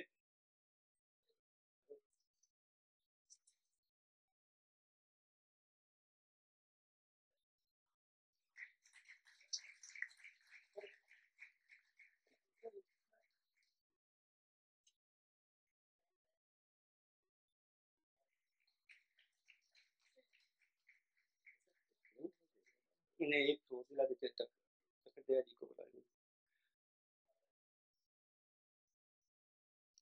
अगले जो हमारे, हमारी श्रेणी है वह भी बेस्ट प्रोसेसिंग श्रेणी ही है हार्वेस्टिंग और प्रोसेसिंग श्रेणी। एक ऐसे किसान हैं जो नेपाल बॉर्डर से जुड़े हुए, जो एस्पेशनल जिला है, जो आकांक्षी जिला है, सिद्धार्थनगर से ताल्लुकत रखते हैं, और उन्होंने जियोग्राफिकल इंडिकेशन वाले एक ऐसे चावल की न केवल खेती को बढ़ावा दिया है, बल्कि प्रोसेसिंग भी कर रहे हैं। उन्होंने पीओ भी बनाया और उससे लगभग साढ़े चार सौ किसानों को जोड़ा। और देसी जो किस्म है, काला नमक धान की, जो एरोमेटिक धान है, जो सुगंधित धान है, उसकी खेती करवाते हैं। बड़े स्तर पर करवा रहे हैं। और उत्तर प्रदेश सरकार ने भी उनके प्रोसेसिंग में सपोर्ट किया। उनका जो प्रोडक्ट है जो ई कॉमर्स वेबसाइटें हैं, उनके ज़रिए बिक रही हैं और देश दुनिया के कोने कोने तक पहुँच रहे हैं। ऐसे एक किसान का नाम है श्रीधर पांडे जी। चाहेंगे एक बार जोरदार तालियों से श्रीधर पांडे जी का स्वागत करें। श्रीधर पांडे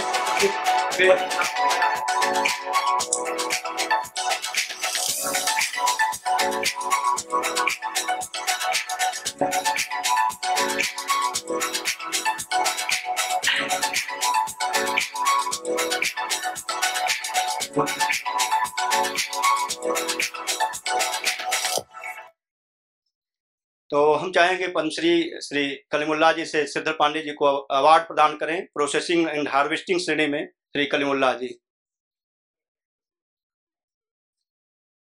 सिद्धार्थ नगर की सरजमी से ताल्लुक रखने वाले देश दुनिया में विख्यात सुगंधित चावल काला नमक की प्रोसेसिंग करते हैं सिद्धर पांडे जी। तालियों की गड़गड़ाहट नहीं रुकनी चाहिए। हमारे जो किसान हैं एक ऐसा मौका है, हम ऐसे अपने किसानों को अपने सामने खड़े पा रहे हैं, जो बदलाव की नई कहानियाँ लिख रहे हैं। उन्हीं में से एक हैं सिद्धर पांडे जी। तो निश्चित तौर पर ऐसे किसानों से, जो दूसरे किसान हैं अलग अलग विलाओं में से जुड़े हुए हैं, उनको सीख लेने का एक मौका मिलेगा श्री श्रीधर पांडे जी। अगली श्रेणी इंटीग्रेटेड फ़ार्मिंग की श्रेणी है। इंटीग्रेटेड फ़ार्मिंग अगर कोई किसान अपनाता है तो निश्चित तौर पर जो खेती की लागत है उसमें स्वतः कमी आ जाती है क्योंकि खेती जो है एक पशुपालन बागवानी एक दूसरे से जुड़ा होता है। तो अगले गेस्ट के रूप में हम बुलाना चाहेंगे श्री डॉक्टर दया श्रीवास्तव जी को जो कृषि विज्ञान केंद्र सीतापुर टू से ताल्लुकात रखते हैं वहाँ के हेड हैं। डॉक्टर दया श्रीवास्तव जी हमारे गेस्ट के रूप में हमारे बीच में होंगे लेकिन हमारे जो अगले इंटीग्रेटेड फ़ार्मिंग के किसान हैं श्री सुरेंद्र प्रसाद पाठक जी संत कबीर नगर से हैं जुड़े हुए हैं। सुरेंद्र प्रसाद पाठक जी, जी अगर हमारे बीच में हैं तो तशरीफ़ लाए मंच पर सुरेंद्र प्रसाद पाठक जी।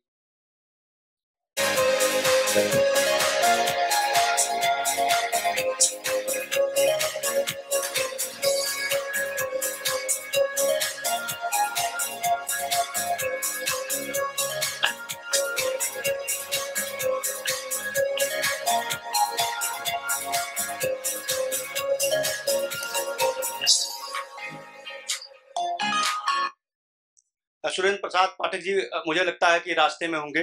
अगली श्रेणी इंटीग्रेटेड फ़ार्मिंग की ही है, क्योंकि हम लोगों ने एक श्रेणी में बेस्ट दो किसानों को चुना था और जो किसान तशरीफ़ ला रहे हैं स्टेज पर, उनका नाम है रामजी दुबे और वो मिर्जापुर जनपद से ताल्लुकात रखते हैं, इंटीग्रेटेड फ़ार्मिंग करते हैं। खासकर बागवानी में के ज़रिए वो पंद्रह लाख रुपए सालाना की शुद्ध आमदनी प्राप्त कर रहे हैं। श्री राम जी दुबे जी का क्लिप चाहेंगे, प्ले करें। राम जी दुबे जी। श्री राम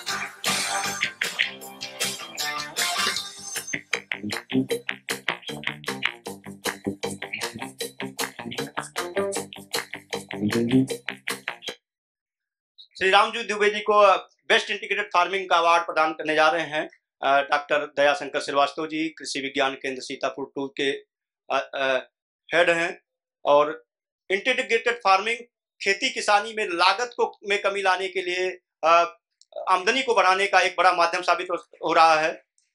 उसी में से एक हैं श्री राम जी दुबे जी तालियाँ की तालियों की गड़गड़ाहट रुकनी नहीं चाहिए।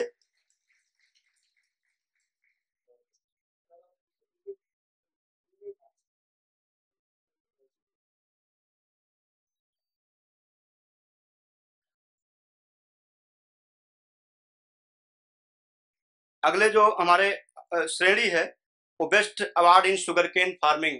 एक ऐसे किसान को हम बुलाने जा रहे हैं, जो पूरे उत्तर प्रदेश में अपनी एक अलग पहचान रखते हैं, गन्ने की खेती के लिए। और जो नवीन विधियाँ पिछले पिछ सालों पिछले कुछ सालों में प्रचलित हुई हैं, चाहे रिंग पिट की बात करें, और नर्सरी के ज़रिए नर्सरी तैयार करके गन्ने की रोपाई की जाती है। तो ऐसे में जिस किसान का नाम आमंत्रित करने जा रहे हैं, उनका नाम है अरविंद कुमार मलिक जी। अरविंद कुमार मलिक जी ने नई कहानी रची है और वो ट्रेंच विद से गन्ना की बुआई कर रहे हैं रासायनिक उर्वरकों का कम से कम प्रयोग करते हैं और देश विदेश में उनकी जो तकनीकी है उसको किसान उनके यहाँ सीखने आते हैं। मैं चाहूँगा उनकी जो क्लिप है उसको प्ले करें। आ, अ-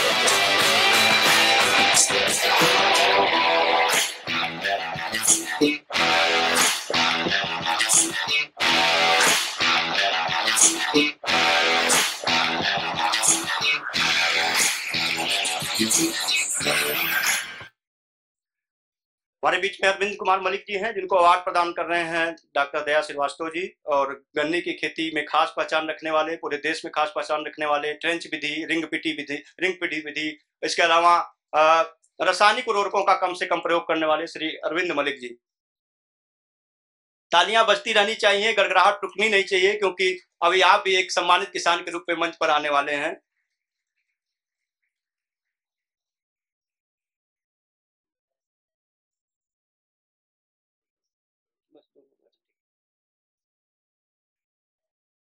अगली जो श्रेणी है, वो है best farmer in sugar cane farming में ही। और जिस किसान को हम बुलाने जा रहे हैं, वह भी गन्ने की खेती में खास पहचान रखते हैं और शाहजहांपुर से ताल्लुक रखते हैं, जिनका नाम है कौशल कुमार मिश्र जी।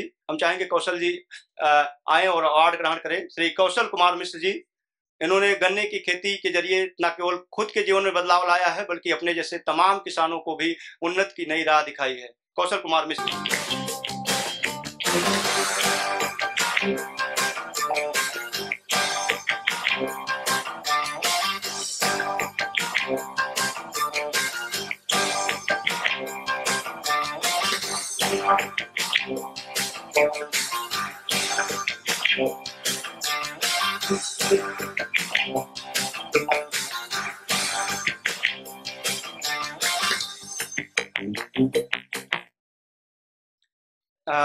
गन्ने की खेती कौशल कुमार मिश्र जी को अवार्ड प्रदान किया जा रहा है best farmer in sugar cane farming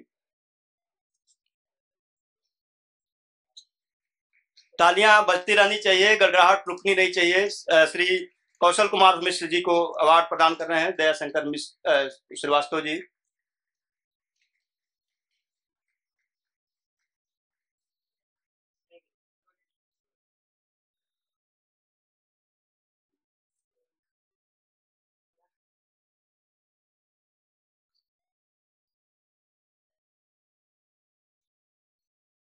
अगली श्रेणी बेस्ट फीमेल फार्मर की श्रेणी हुए। अभी मैं सुबह से आधी आबाद की, आबादी की बात कर रहा हूँ। बेस्ट फीमेल फार्मर की श्रेणी अलग से तो बनाई गई थी, लेकिन सभी श्रेणियों में महिलाओं का योगदान है। जितने भी है, आप देख रहे होंगे, सभी श्रेणियों में महिलाएँ आ रही हैं, और जिनका नाम मैं बुलाने जा रहा हूँ, वो बागवानी के ज़रिए खुद की न केवल ज़िंदगी में नया बदलाव उन्होंने लाया है, बल्कि अपनी जैसी तमाम किस, महिला किसानों को भी, के ज़रिए जीवन में भी चेंज मेकर का काम किया है। वो पल बेर की खेती कर रही हैं चिया सीड की खेती कर रही हैं, ड्रैगन फ्रूट की खेती कर रही हैं। सेब जो गर्मियों में जो गर्म क्षेत्रों में जो सेब उगाया जाता है, उन वैरायटियों की खेती कर रही हैं। काले आलू की खेती कर रहे हैं, उनका नाम है इंदू सिंह जी। हम चाहेंगे इंदू सिंह जी मंच पर आए और अपना सम्मान ग्रहण करें। इंदू सिंह जी।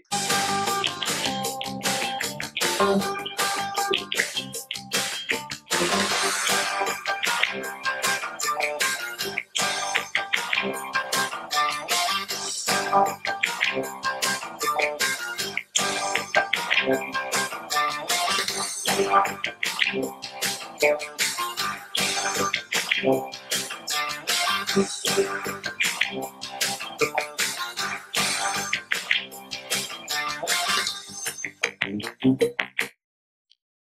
सिंह जी अभी कर्नल हरिश्चंद्र जी की बात हो रही थी। प्रधानमंत्री महोदय ने कई बार आपके द्वारा खेती की, जो खेती की जा रही है, उसकी चर्चा की है देश के विभिन्न मंचों से तो निश्चित तौर पर जो महिला किसान हैं अगर इस तरह से आगे आती हैं तो जो एक हाउस वाइफ का तमगा लगा हुआ है महिलाओं के ऊपर उससे न केवल निजात मिलेगी बल्कि एक सम्मानजनक जो जीवन है जीने का अधिकार है महिलाओं को वो प्रदान होगा मौका मिलेगा।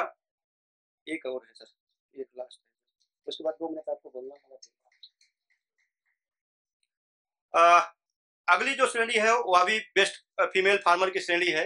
अवार्ड के लिए ग्रुप बनाया गया है और आप लोगों ने देखा होगा, उसमें एक महिला ऐसी थी जिनके वीडियो फ़ोटो आ रहे थे ड्रैगन फ्रूट के साथ खेती करते हुए और बहुत ही अच्छे तरीके से, सलीके से उन्होंने खेती किया हुआ है। उनका नाम है वंदना सिंह जी और वो मिर्जापुर से ताल्लुक रखती हैं।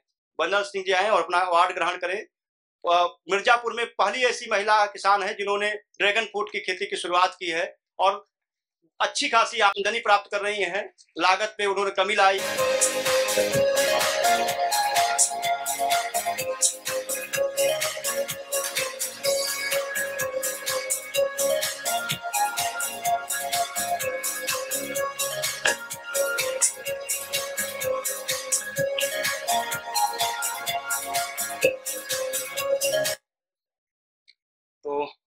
बेस्ट फीमेल फार्मर अवार्ड श्रेणी में श्री सुश्री वंदना सिंह जी हमारे बीच में।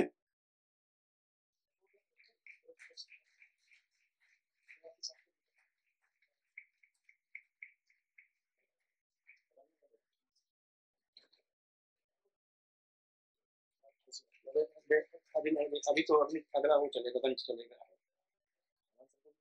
हाँ उन्हीं से दिलवाएँगे मैं हमारे जो गेस्ट हैं सोशल मीडिया पर काफ़ी सक्रिय हैं और देश के विभिन्न जो आईसीआर के, आईएआरआई के संस्थान हैं, वहाँ जाकर के वो ट्रेनिंग देने का काम भी करते हैं, लेने का काम करते हैं। और आपके यहाँ कृषि विज्ञान केंद्र पर जो उत्तर प्रदेश के विभिन्न जनपदों के कृषि विभाग से किसान भेजे जाते हैं एक्सपोजर विज़िट के लिए वहाँ जाते भी हैं। तो ऐसे बहुत कम कृषि विज्ञान केंद्र हैं, जहाँ इस तरह का मॉडल तैयार किया गया है, जहाँ किसान जाए और कुछ सीख पाए। उन्हीं में से एक है कृषि विज्ञान केंद्र सीतापुर टू और उनको सम्मानित करने के लिए हम बुलाना चाहेंगे दिल्ली प्रेस के यशस्वी कार्यकारी संपादक श्री अनंतनाथ सर को आप आए और दया सर को सम्मान भेंट करें।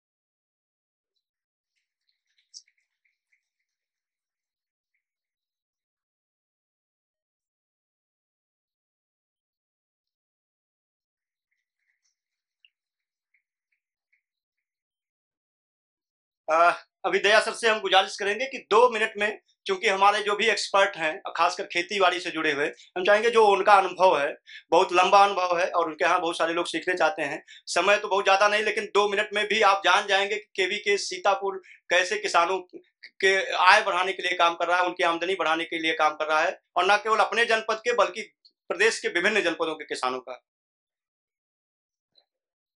बहुत बहुत धन्यवाद। सभी को नमस्कार। फार्मन फ़ूड परिवार की तरफ़ से ये आयोजित आज कृषि जगत में जो उत्कृष्टता का जो आज उत्सव है, निश्चित तौर पे ये सभी के लिए गौरवान्वित की बात है। आज देश के अन्नदाता हमारे बीच में हैं। किसान हो, महिला, पुरुष, दोनों आज हमें बहुत गौरव है कि हम इस क्षण के साक्षी बने हैं। निश्चित तौर पे आप सभी बहुत बहुत बधाई के पात्र हैं। मैं केवल दो शब्दों में इतना ही कहूँगा कि जो भारत की कृषि है, आज आप जानते हैं कि एक बड़े, बहुत बड़ी हमारे लिए चुनौती भी खड़ी हो रही है, जिस हिसाब से आज, जो फ़सल में कहें तो सीड और ब्रीड ये दो मुख्य बातें होती हैं। अगर फ़सलों में हम बात करें तो सीड की बात करें और पशुओं में बात करें तो ब्रीड्स की। इनका जो संरक्षण जो होना चाहिए जिस हिसाब से वो शायद एक बहुत बड़ा चुनौती दौर में है। आज हम बहुत सारे बीजों को खोते जा रहे हैं। हमारे अन्नदाता अभी कल ही विश्व खाद्य दिवस था, जिसकी थीम थी कि भोजन का अधिकार। हम सबको भोजन का अधिकार है। बट जिस हिसाब से आज हम चुनौती से गुजर रहे हैं, हमारे ट्रेडिशनल फ़ूड जितनी ट्रेडिशनल सीड हैं, वो जो गायब होते जा रहे हैं, विलुप्त होते जा रहे हैं, ये हमारे लिए बहुत बड़ी चुनौती है। किसी भी देश को वैश्विक रूप में अगर हम बात करें, अगर वैश्विक में सफलता हासिल करनी है, अग्रणी रहना है तो हमें सीड और ब्रीड में अग्रणी होना होगा। रोज़गार के दृष्टिकोण से अगर हम बात करें तो जिस देश के पास जितनी विविधता होंगी, उतने उस देश में रोज़गार होंगे। आज जो हमारे पारंपरिक जितने बीज थे, वो धीरे धीरे विलुप्त होते जा रहे हैं। मैं केवल इतना ही कहूँगा कि हमें पुराने बीजों को बचाना होगा, क्योंकि अगर बीज नहीं बचा तो शायद कृषि नहीं बचेगी। उसी तरीके से हमारी नस्लें जितनी भी हैं वो अगर विलुप्त हो गई तो हमारी पशुधन जो हमारा, वो हमारे हाथ से चला जाएगा। आज एक प्रयास करने की आवश्यकता है कि प्रकृति ने हमें बहुत सारे ऐसे नाना प्रकार के सुंदर बीज दिए हैं, जिनमें बहुत सारी ऐसी विविधताएँ हैं, बहुत सारी ऐसी खूबियाँ हैं, जो हमारे शरीर के लिए बहुत फ़ायदेमंद हैं। हमारे बुज़ुर्गों ने, हमारे पैतृक लोगों ने बहुत सारी ऐसी अनमोल धरोहर बचा के रखी है। ज़रूरत है उसको प्रयास करके संरक्षित करने की मैं एक आपको सूचना बता देता हूँ कि भारत सरकार के पौधा, किस्म और कृषक अधिकार संरक्षण प्राधिकरण की ओर से बीज में मालिकाना हक देने के लिए लगातार प्रयास किए जा रहे हैं। आप सभी, आपके आसपास यदि कोई पुराने देसी बीज हैं तो आप उनको कृपया अपने नाम से, अपने पिताजी के नाम से, अपने गाँव के नाम से संरक्षित करा सकते हैं, ताकि उस जर्म प्लाज्म जब रहेगा तो उससे बहुत सारे ऐसे बीज हमारे बन पाएँगे और किसान को मालिकाना हक भी मिलेगा।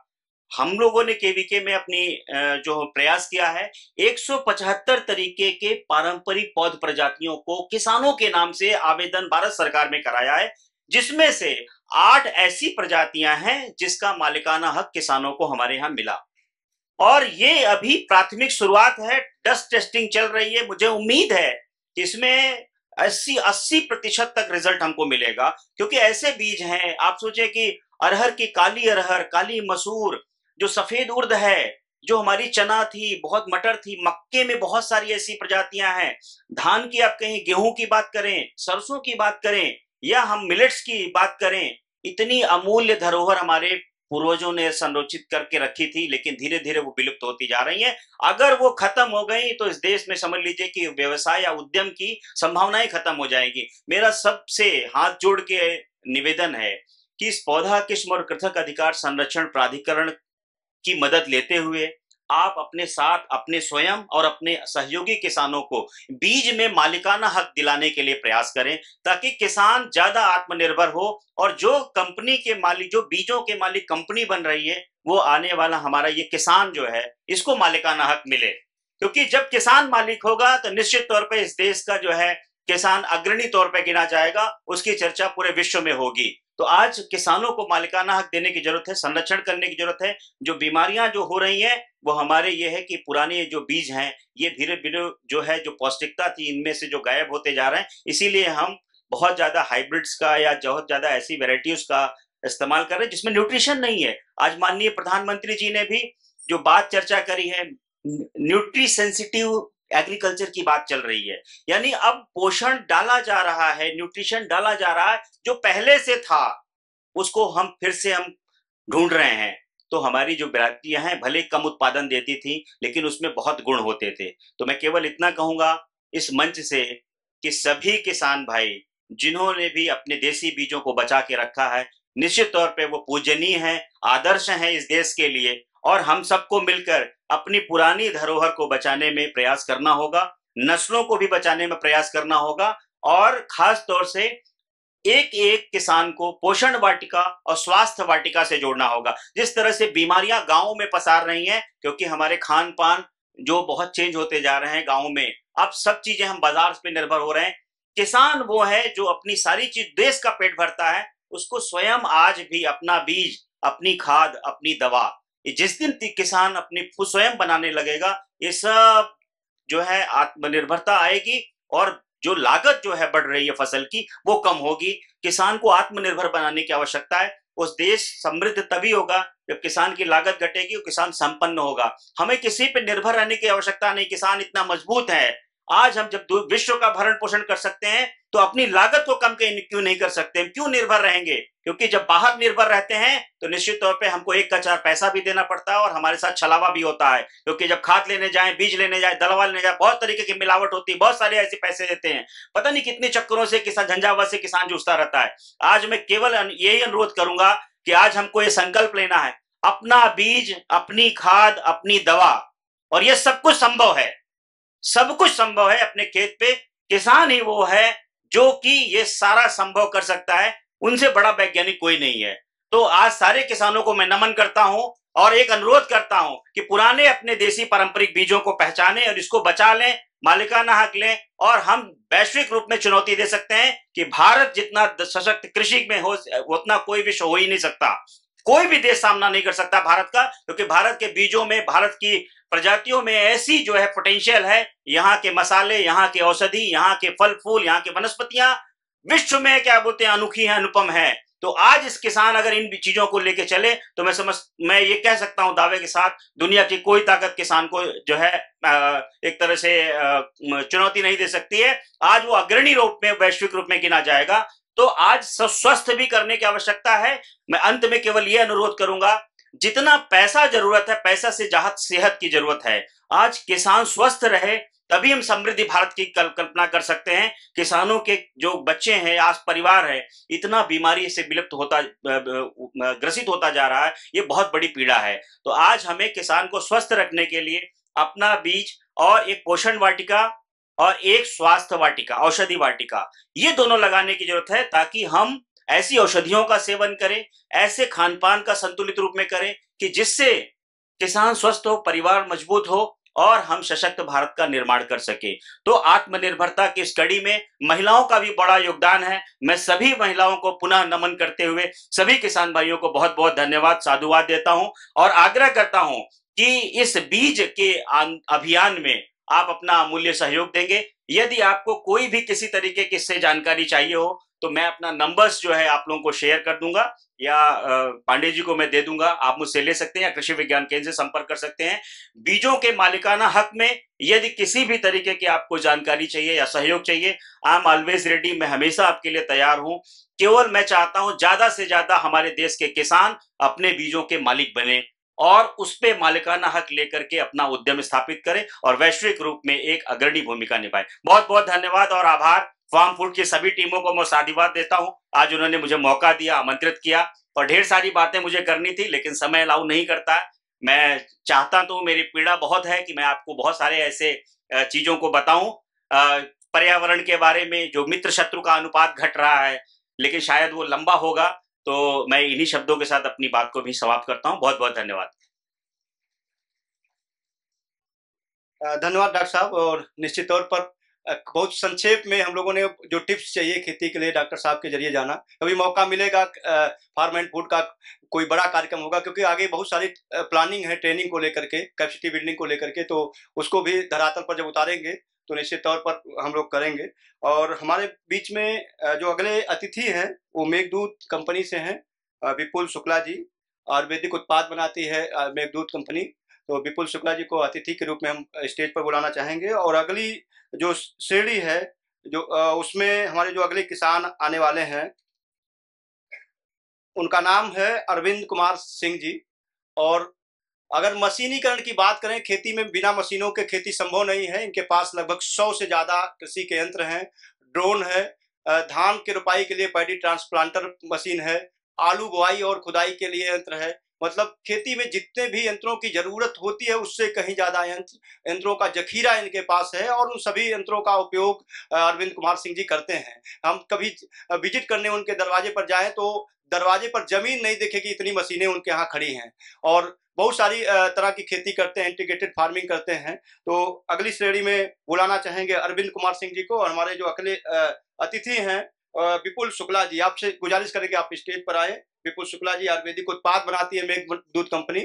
और हमारे जो अतिथि हैं, मैं चाहूँगा जो क्लिप है अरविंद सिंह जी की, उसको प्ले किया जाए।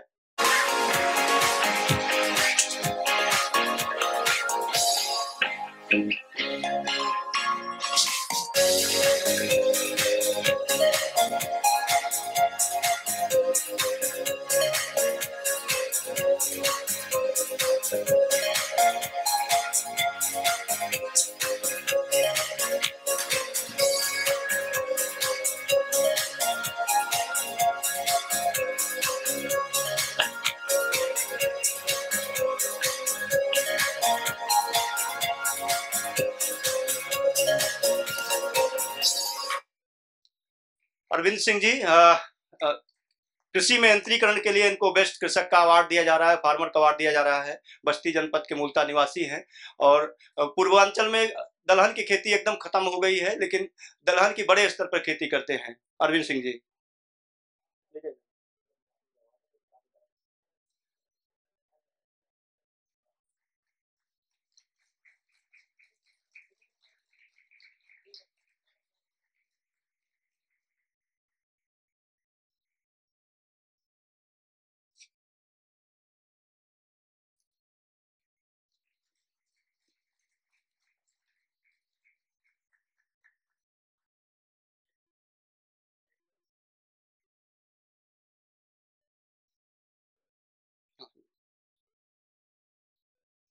हम अगले अवार्डी किसान को बुलाएँ, उसके पहले हम अपने गेस्ट का नाम लेना चाहेंगे।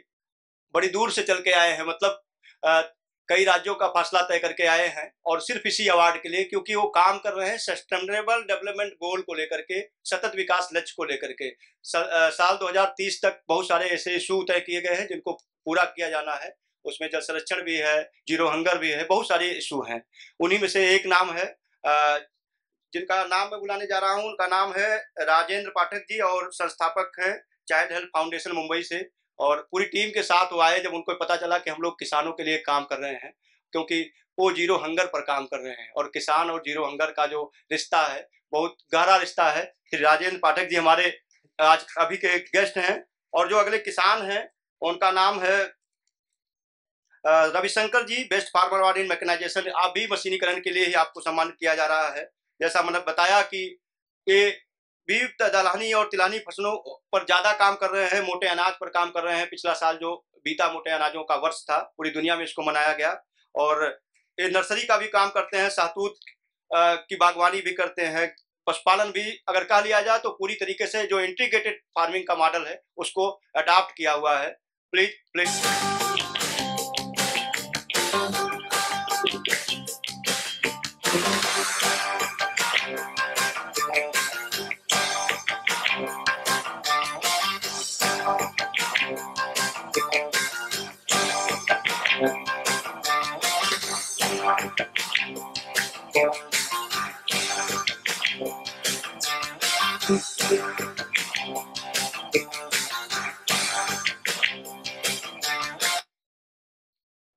रविशंकर सिंह जी, गोंडा जनपद के मूलता निवासी हैं और खेती में मशी मशीनीकरण को इन्होंने अपनाया है। आपने क्लिप में भी देखा, बहुत सारी मशीनों पर काम कर रहे थे।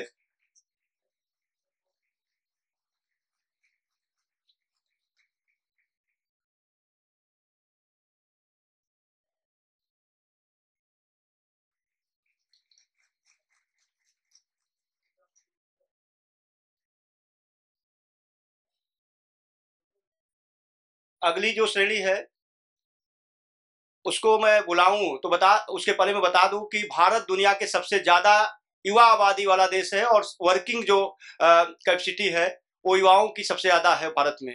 तो अभी जिनकी हम बात करने जा रहे हैं, पिछले दो दशकों में युवाओं ने बहुत ज़्यादा खेती से पलायन किया, लेकिन जो वर्तमान का दशक चल रहा है, इसमें युवा खेती की तरफ़ युवाओं का रुझान भी बढ़ा है, खासकर कोविड के बाद।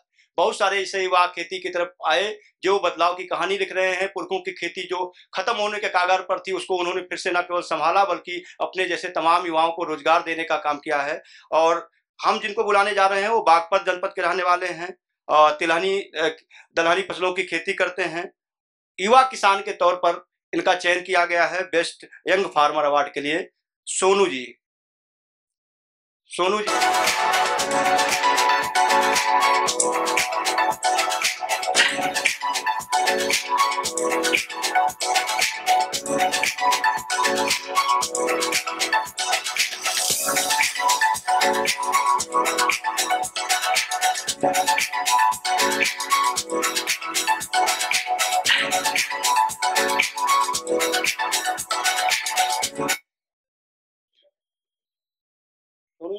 सोनू जी को अवार्ड प्रदान करने जा रहे हैं श्री राजेंद्र पाठक जी।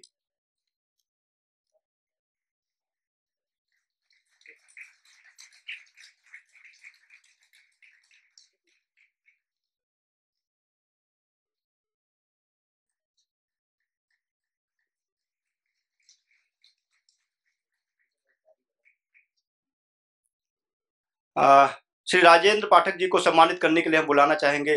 श्री अनंतनाथ सर को आप आए और राजेंद्र पाठक जी को स्मृति चिन्ह और पुष्प गुच्छ भेंट करके आपका सम्मान करें।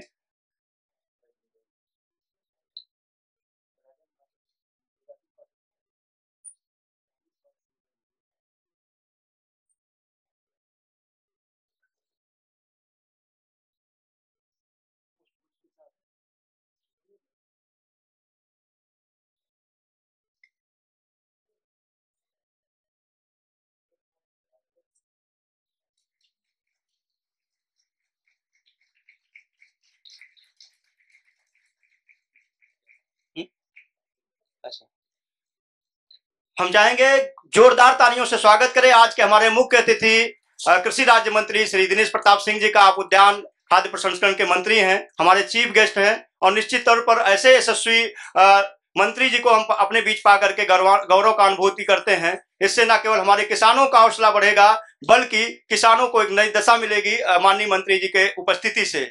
हमारे बीच में उत्तर प्रदेश सरकार में उद्यान और खाद्य प्रसंस्करण के साथ जो विदेशी निर्यात है, उसके, उस अहम मंत्रालय का जिम्मा संभाल रहे आदरणीय मंत्री जी का हम स्वागत करते हैं और हम गुजारिश करेंगे एक बार जोरदार तालियों से माननीय मंत्री जी का स्वागत करें।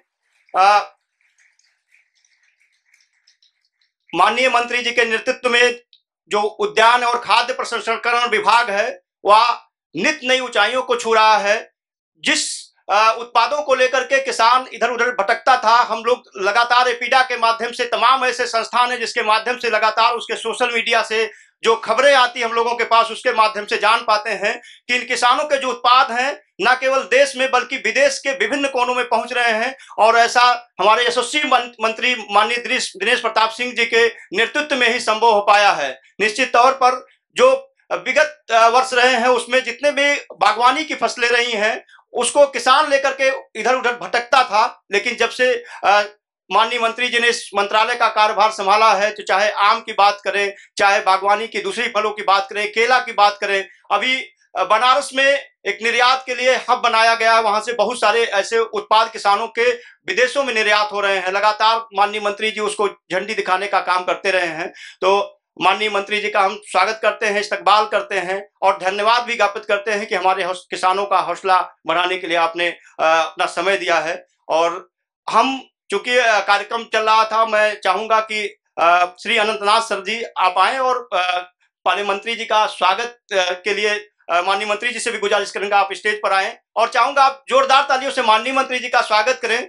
और माननीय मंत्री जी ने अपने जो व्यस्ततम समय है उसमें से समय निकाल करके हम लोगों का हौसला बढ़ाया है और खासकर बहुत सारे ऐसे किसान हैं जो खेती बागवानी से ताल्लुकात रखते हैं उन्होंने नई कहानियाँ लिखी हैं आबाद आधी आबादी से जुड़ी हुई यहाँ पर बहुत सारी महिलाएँ हैं।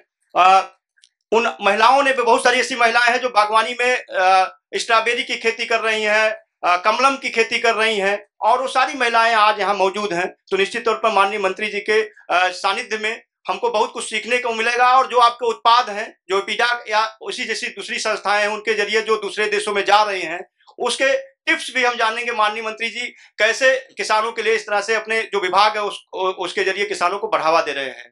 तो हम बुलाना चाहेंगे अनंतनाथ सर को आप आए और माननीय मंत्री जी के स्वागत के क्रम में संबोधन दें।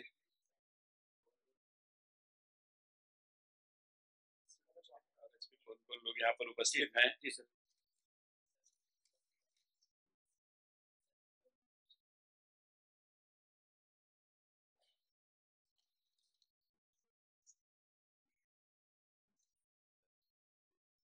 आयोजक का नाम दे रहे जी आयोजक का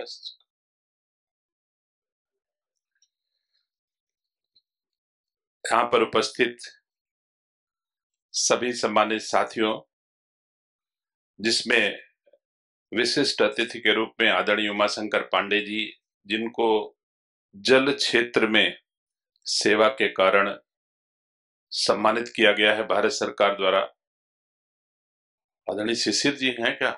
नहीं अभी श्री जितेंद्र क्वात्रा जी, श्री संजय त्रिपाठी जी, श्री संजीव कुमार वर्मा जी, श्री राजेंद्र पाठक जी, सुनील पांडे जी, श्री सुनील वर्गीस जी और सभी उपस्थित हमारे राज्य से वो लोग जो खेती के क्षेत्र में कोई न कोई उपलब्धि हासिल किए हैं, किसी न किसी बहाने कोई नजीर बने हैं, किसी न किसी के अनुसरण, अनुकरण के योग्य बने हैं, ऐसे लोगों को मैं बधाई देता हूँ, शुभकामनाएँ देता हूँ।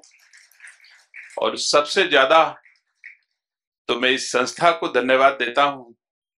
प्रायः जब किसान लोग अपनी खेती किसानी को, किसानी की विधा को प्रमोट करने का प्रयास करते हैं तो कभी कभी असफलता होती है, असफलता लगती है। लेकिन जब प्रचार प्रसार का विभाग ही खेती किसानी का प्रचार प्रसार करने लग जाए तो ये अच्छे दिन का द्योतक है कि कम से कम मीडिया जगत के लोग आज हम किसान खेती करने वालों को आगे बढ़ाने के लिए, उनके सम्मान को दुनिया की गलियों तक पहुँचाने के लिए, उनकी उपज को दुनिया की बाजारों तक पहुँचाने के लिए आज मीडिया जगत के लोग आगे आए हैं। ऐसे में पूरे साथियों को हृदय से धन्यवाद देता हूँ, आभार प्रकट करता हूँ और भरोसा दिलाता हूँ कि जब जब आप जैसे मीडिया जगत के लोग हमारे किसानों के भले के लिए, किसानों के उन्नति के लिए अपना कदम बढ़ाएँगे। हमारी सरकार और दिनेश प्रताप सिंह सदैव आपके साथ खड़ा रहेगा। हमेशा आपका साथ देगा। निसंदेह, भारत के यशस्वी प्रधानमंत्री जी, उत्तर प्रदेश के यशस्वी गृह मंत्री जी ने भारत और उत्तर प्रदेश में खेती को बहुत ज़्यादा आगे ले जाने के लिए, किसानों को खुशहाल रखने के लिए बहुत सारे प्रयास किए हैं। लेकिन इसमें कोई संदेह नहीं है। कि खेती में अभी भी बहुत संभावना है। बहुत सारे लोग दूसरे क्षेत्रों में जाकर के सफलता के झंडे गाड़े हैं। अभी कम लोग खेती में ऐसे मिलते हैं, जिनका नाम लोग जानते हैं। आज पहली बार तीन चार लोगों का नाम इस संस्था के द्वारा पूरे प्रदेश में आज के बाद जाने जाएँगे, जब ये मीडिया के माध्यम से खबरें जाएँगी कि हमारे जिन लोगों ने खेती के क्षेत्र में अच्छे काम किए हैं, उनको आज सम्मानित किया गया, उनको बुलाया गया है। तो निसंदेह उनका सम्मान बढ़ेगा और उनके कारण और लोग हमारे रायबरेली के लेमन मैन के जाने वाले, लेमन मैन के नाम से जाने वाले, जिन्होंने ईबू के क्षेत्र में बहुत अच्छा काम किया है, उनका भी सम्मान होगा तो लोग जानेंगे कि लेमन की खेती से एक ऐसा व्यक्तित्व है जिन्होंने किसी भी वर्ग से अधिक सम्मान और सुख प्राप्त किया है खेती करने के उपरांत। बहुत सारे लोग हैं, हमारे बुलंदशहर का एक नाम है कर्नल देसवाल। बाराबंकी के एक बर्मा जी हैं। बर्मा जी अकेले कई करोड़ रुपए खाली मजदूरी देते हैं बे देते हैं अपनी खेती करने के लिए। ऐसे भी किसान हैं। तो निसंदेह खेती के क्षेत्र में बहुत संभावना है और भारत की सरकार ने, राज्य की सरकारों ने बहुत अच्छा काम किया है। हम उद्यान विभाग के माध्यम से राज्य के लोगों को, राज्य के किसानों की सेवा का अवसर पा रहे हैं। तो निसंदेह मैं कह सकता हूँ औद्योगिक खेती में उत्तर प्रदेश आज की तारीख में बहुत अग्रणी भूमिका देश में निर्वहन कर रहा है। हमारा बहुत बहुत सारी उपज जो हमारे राज्य के किसानों के द्वारा उत्पादित की जाती है, आज दुनिया की बाजारों तक पहुँच रही है।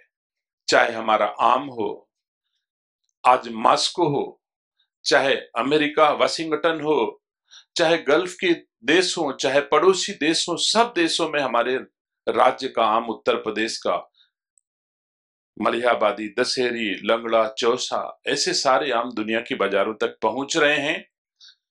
और चाहे वो चिली हो, चाहे आलू हो, चाहे आलू का बना प्रोडक्ट्स हो, बहुत सारी चीज़ें हम लोग आज दुनिया के बाजारों तक पहुँचाने में कामयाब हो रहे हैं। लेकिन ऐसी गोष्ठियाँ अब भी आवश्यक हैं, क्योंकि दुनिया में क्या हो रहा है दुनिया में हमारी उपज का क्या मूल्य मिल रहा है? किस गुणवत्ता का हमको अपनी उपज तैयार करनी चाहिए जो दुनिया की बाजारों में हम कम्पीट कर सके अपने राज्य की उपज को? ऐसी चीज़ें तो इन गोष्ठियों से ही हम लोगों का मार्गदर्शन करेंगी, प्रेरित करेंगी। तो ऐसे पढ़े लिखे लोग जिनको दुनिया की बाजारों का अनुभव है, हमारे गाँव के हर किसान को दुनिया की बाजारों का अनुभव होना अभी स्वाभाविक नहीं है। वैसे तकनीक के क्षेत्र में हमारा भारत बहुत विकसित हो चुका है, लेकिन फिर भी आवश्यकता अभी भी है कि हमारे राज्य के किसानों को ये बताया जाए कि अगर आप अपने मलिहाबाद का आम अगर रसिया पहुँचा देंगे, मास्क को पहुँचा देंगे तो आपको आठ सौ रुपए मूल्य एक किलो का मिलेगा, जो उत्तर प्रदेश की राजधानी लखनऊ में अस्सी सौ रुपए में आसानी से मिल रहा है। उसकी कीमत हमको आठ सौ रुपए मिल सकती है। भाड़ा होगा तीन सौ साठ रुपए। तो भी अगर कुल खर्च मिला लेते हैं तो आधे कीमत हमारी बढ़ जाती है। आज के नौजवान बच्चे, जिनके हाथ में पूरी दुनिया है और वो लोग चाहें तो अपने उत्पाद को दुनिया के बाजारों तक ले जाने में अपनी भूमिका का निर्वहन कर सकते हैं। ऐसे बहुत सारी चीज़ें हैं। बहुत हमारे गाजीपुर का किसान अपने आप ट्रकों में लाद करके आसपास के देशों में चाहे नेपाल हो बांग्लादेश हो ऐसे अगल बगल के देशों में बहुत सारा हमारा सामान हमारा उप, हमारी उपज जा रही है। हमने कृषि के क्षेत्र में बहुत अच्छे काम किए हैं। आलू की अच्छी उपज हो आलू का उत्पादन अच्छा हो गुणवत्ता परक बीज मिल सके, इसके लिए आगरा में हमारा एक अनुसंधान केंद्र स्थापित होने जा रहा है। हम उत्तर प्रदेश के लोग गौरव गौरव की अनुभूति कर सकते हैं कि जो अनुसंधान केंद्र उत्तर प्रदेश के आगरा में राज्य सरकार के प्रयास से स्थापित होने जा रहा है, वैसा अनुसंधान केंद्र इस दुनिया में केवल दो हैं और तीसरा आगरा में है। पहला, आलू की उत्पत्ति आलू की उत्पत्ति साउथ अमेरिका का एक देश है, जिसकी राजधानी लीमा है, नाम जी पेरू। साउथ अमेरिका का एक देश है पेरू, जिसकी राजधानी लीमा में आलू की उत्पत्ति हुई। वहाँ पर इसका एक अनुसंधान केंद्र है, उसकी शाखा एक चाइना में है और दूसरी शाखा हमारे उत्तर प्रदेश के आगरा में स्थापित हो रही है। ये हमारे अच्छे दिन की अनुभूति के कुछ उदाहरण ज़रूर हैं। आज हमारा उत्पादन राज्य के किसानों की उपज दुनिया के बाजारों में पहुँचाने में एक संकट है, क्योंकि Uttar Pradesh landlocked area है। दूसरे राज्य, कई राज्य ऐसे हैं जो समुद्री मार्ग से जुड़े हुए हैं और समुद्री मार्ग के माध्यम से अपनी उपज की दुनिया के बाजारों तक कम खर्चे में, कम किराए में पहुँचा पाते हैं। लेकिन बहुत ऐसे राज्य हैं जिनको बहुत ऐसे देश हैं, बहुत ऐसे राज्य हैं जिनको आसानी से अपनी उपज को दुनिया के बाजारों तक पहुँचाने में समल होते हैं, समझ, समर्थ होते हैं और उनका वैल्यू एडिट वैल्यू एडिट उनका मूल्य संवर्धन आसानी से हो पाता है। तो मैं हमारे उत्तर प्रदेश के मुख्यमंत्री जी के प्रयास से, देश के प्रधानमंत्री जी के प्रयासों से हमारा जेवर एयरपोर्ट बहुत जल्दी बन के तैयार हो रहा है। ये हमारे राज्य के किसानों की खुशहाली है अभी हम जो भी निर्यात करते हैं, कृषि उपज को जो भी हम अभी निर्यात करते हैं, वो उन जहाजों में जाता है, जिन जहाजों में हम लोग बैग रख करके जाते हैं, उस स्थान में हम अपनी उपज को ले जाते हैं। इसके कारण किराया ज़्यादा पड़ता है। आने वाले दिनों में, अगले साल में उम्मीद करता हूँ कि हमारे राज्य की जेवर से अब ऐसी उड़ाने जाएँगी जो केवल राज्य के किसानों की, की कृषि उपज को ही लेकर के दुनिया की बाजारों में जाएँगी तो हमको किराया सस्ता पड़ेगा। कम भाड़े पर हम अपनी उपज को दुनिया की बाजारों तक पहुँचा पाएँगे। उत्तर प्रदेश के यशस्वी मुख्यमंत्री जी के नेतृत्व में फ़िलहाल हम लोग दुनिया की बाजारों तक निर्यातकों के लिए कुछ सुविधाएँ हमने दी हैं। इस गोष्ठी के माध्यम से मैं अपने राज्य के किसानों तक ये बात पहुंचाना चाहता हूँ कि जो भी किसान हो, चाहे एफपीओ हो, चाहे कोई व्यवसायी हो, अगर हमारे राज्य की उपज को किसी भी, चाहे वाटरवेज हो, चाहे एयरवेज हो, चाहे रेलवेज हो, जहाँ तक वो ले जाना चाहता है, वहाँ तक में हम 20 लाख रुपए तक एक इकाई को सब्सिडी दे रहे हैं, खाली प्रमोट करने के लिए कि हमारे राज्य की उपज को दुनिया के बाजारों तक पहुँचे। और इसमें अब कोई दो राय नहीं है। कि हमारे राज्य का युवा दुनिया में अपनी प्रतिभा, दुनिया में अपना कौशल दिखा सकता है। ये कोई नई बात नहीं, हम लोग जानते हैं जब हमसे या हमसे पहले लोगों के शादी ब्याह होते थे तो जहाँ तक लड़िया बैल जा पाती थी, वहाँ तक हम लोग शादी ब्याह करते थे, है ना? जहाँ तक लड़िया बैल, बैलगाड़ी जहाँ तक जाती थी, हम लोग बेटी बेटे की शादी वहीं तक कर पाते थे। संसाधन बढ़े तो एक ज़िले से दूसरे ज़िले तक करने लग गए। और संसाधन बढ़े तो हम एक प्रदेश से दूसरे प्रदेश में करने लगे और आज खुशी है कि हम एक देश से दूसरे देश में शादी ब्याह भी कर रहे हैं। यहाँ पर बैठे बहुत सारे लोग होंगे जिनके रिश्ते दुनिया के दूसरे देशों में भी होंगे। तो अगर हम शादी ब्याह दूसरे देशों में कर सकते हैं तो व्यवसाय भी दूसरे देशों के बीच में कर सकते हैं। हमारी उपज दुनिया की बाजारों में पहुँचे ये कोई बहुत बड़ी बात नहीं है। उत्तर प्रदेश सरकार आपके साथ है। हम सब खेती किसानी करके ही आज किसानों की सेवा करने लायक बने हैं। खेती वह विषय है। निसंदेह सब कोई पहले कहावत है, उत्तम खेती, मध्यम बान, सब कहावत होती थी। तो आज भी खेती में इतनी संभावनाएँ हैं। आज हमारा मिर्जापुर का किसान स्ट्रॉबेरी की खेती करता है। एक एकड़ में किसान पंद्रह लाख रुपए की स्ट्रॉबेरी बेच रहा है। लोग कह रहे हैं बीस लाख, पंद्रह लाख रुपए एक एकड़ में। अगर हम पारंपरिक खेती करते हैं, अगर पारंपरिक खेती करते हैं, धान, गेहूँ की खेती करते हैं तो अधिकतम एक एकड़ में चालीस हज़ार का धान और चालीस हज़ार का गेहूँ आदमी तैयार कर पाता है। लेकिन वहीं जब हम कमर्शियल खेती करते हैं तो एक एकड़ में हम बड़े आराम से दस पंद्रह लाख रुपए तक उपज कर सकते हैं। तो हम लोगों को पारंपरिक खेती के साथ साथ अब ऐसी खेती भी करनी चाहिए जिस खेती में हमारा अच्छी, हमारा वैल्यू एडिट हो सके। हम मंडी विभाग के मंत्री के रूप में भी सेवा करने का अवसर पा रहे हैं। पहली बार राज्य के हर मंडियों में एक कोल्ड रूम स्थापित हो रहा है। मंडियों में अब आप जाएँगे तो आपको रिसेप्शन भी मिलेगा। कोई किसान मंडी में इंटर करेगा तो छह महीने में ऐसी सुविधा तैयार कर देंगे कि मंडी में कोई किसान में जाएगा तो महसूस होगा, ये मंडी उसकी है, उसकी मेहनत की कमाई से मंडी स्थापित है, उसकी मेहनत का, की कीमत मिले इसके लिए मंडी स्थापित है। तो उसको अपनापन महसूस हो महसूस हो, इसके लिए हम लोगों ने एक सुंदर सा वातावरण मंडियों में बनाने का प्रयास किया है।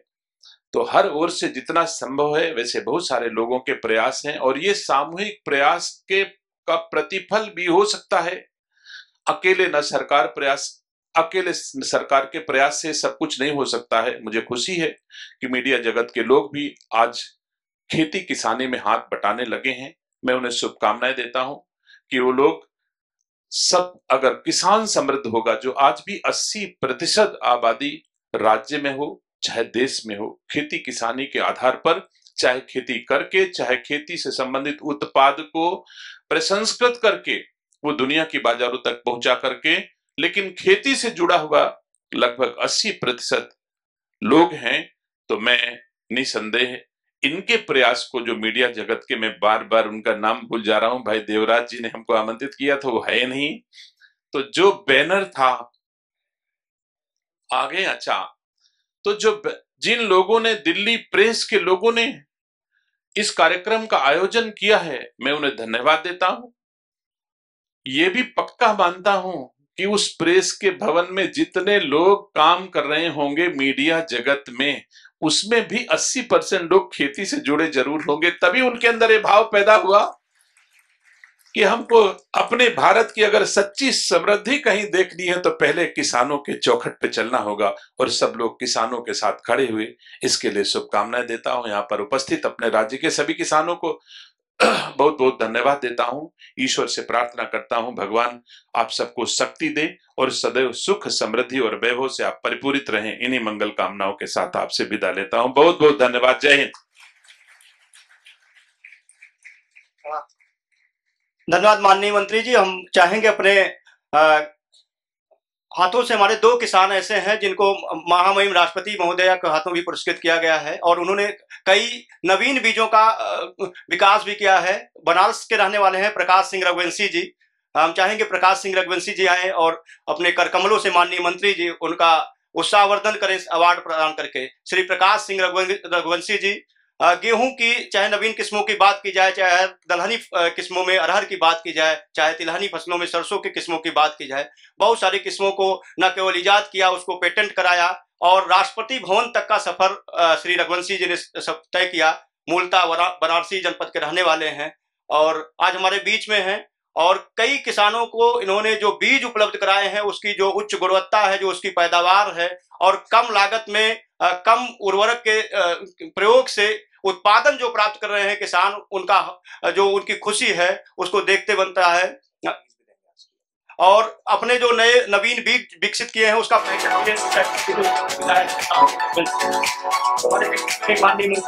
के हाथों। हम चाहेंगे जोरदार तालियों से स्वागत करें प्रकाश सिंह रवैसी जी का। प्रकाश सिंह रघुवंशी जी माननीय अ, प्रधानमंत्री के लोकसभा क्षेत्र में ताल्लुक रखते हैं वाराणसी से और देश के लिए पूरे देश में इस तरह का काम करते हैं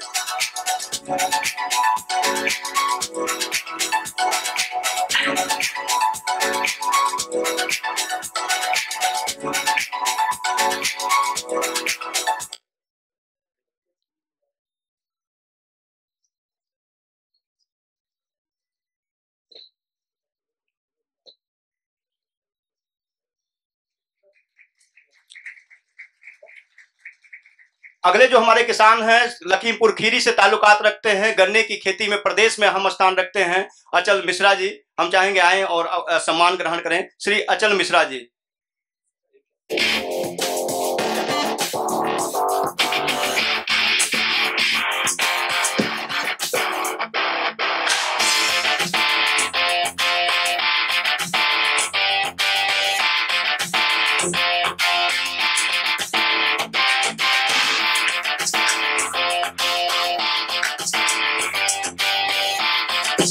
हैं, जो किसान के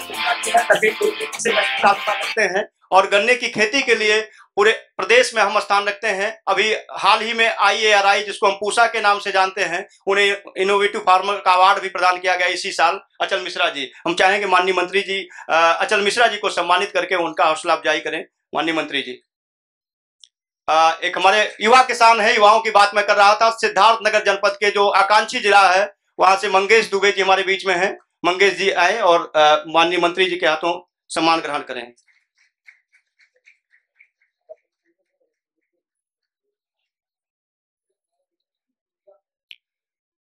आकांक्षी जनपद सिद्धार्थनगर से काला नमक की खेती करते हैं, सुगंधित धान काला नमक की खेती करते हैं, जीआई टैगिंग प्राप्त काला नमक को मंगेश दुबे जी का हम स्वागत करते हैं। माननीय मंत्री महोदय से अनुरोध करेंगे, युवा किसान के तौर पर, युवा किसान कैटेगरी में मंगेश जी को सम्मान प्राप्त करके।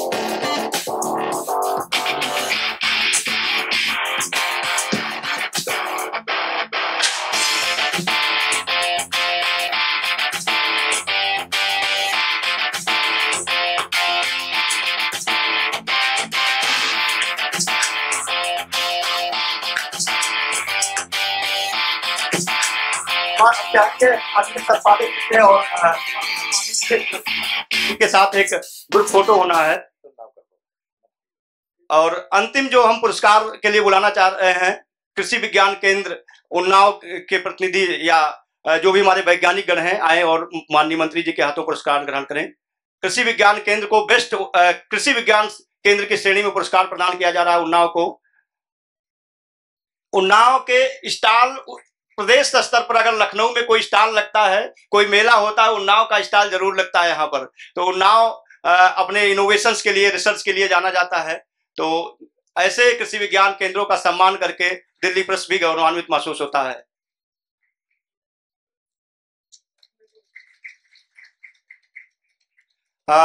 पुनः धन्यवाद ज्ञापित करना चाहूँगा माननीय मंत्री जी का।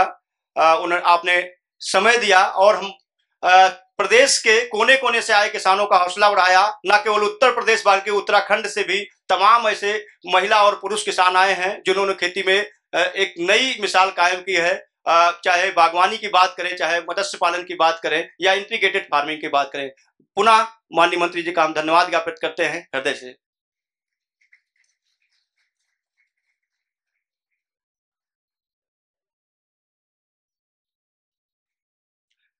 अगली जो श्रेणी है राम लखन सिंह जी हैं और बेस्ट रिसर्च फ़ार्मिंग सिस्टम के लिए आपको सम्मानित किया जाना है। मनकापुर गोंडा से ताल्लुक रखते हैं, वस, विषय वस्तु विशेषज्ञ के तौर पर आप कार्य कर रहे हैं मनकापुर में। हम चाहेंगे मनकापुर का जो क्लिप है उसको तैयार रखें प्ले करने के लिए। हमारे जो अगली श्रेणी होगी वह होगी कृषि विज्ञान केंद्र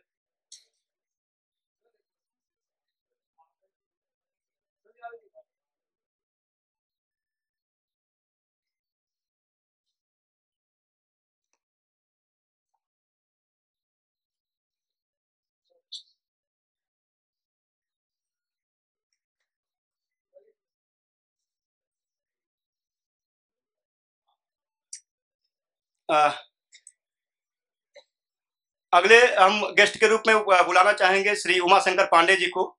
हमारे जो अगले किसान सम्मानित होने हैं पद्मश्री अवार्डी हैं पानी के लिए पानी बचाने के लिए देश का पहला पद्मश्री उमा शंकर प- अ, पांडे जी को प्रदान किया गया हाल ही में। और देश के कोने कोने में जो उनका एक मंत्र है खेत में मेड़ और मेड़ पर पेड़ ये पारंपरिक विधिया है पुरखों की पारंपरिक विधि है। इसको उन्होंने न केवल बचाने का काम किया है, बल्कि नीति आयोग की रिपोर्ट कहती है कि वहाँ जो पानी का जल स्तर है, वो काफ़ी बढ़ा है। और इतिहास में पहली बार वहाँ पिछले तीन चार सालों में बम्पर स्तर पर जो एक महीन धान जिसको हम कहते हैं वह महीन धानों की किस्मों की खेती हो रही है, जिसमें बहुत सारी किस्में पूसा द्वारा डेवलप की गई हैं। वो खेती हो रही है तो मान हम चाहेंगे पद्मश्री उमाशंकर पांडे जी आए हमारे अगले कंस्टेंट के लिए। Ram Lakhan Singh ji, best farming system के लिए अवार्ड आपको प्रदान किया जा रहा है, कृषि विज्ञान केंद्र, मनकापुर, गोंडा। राम लखन सिंह जी। क्लिप, प्ले कर दे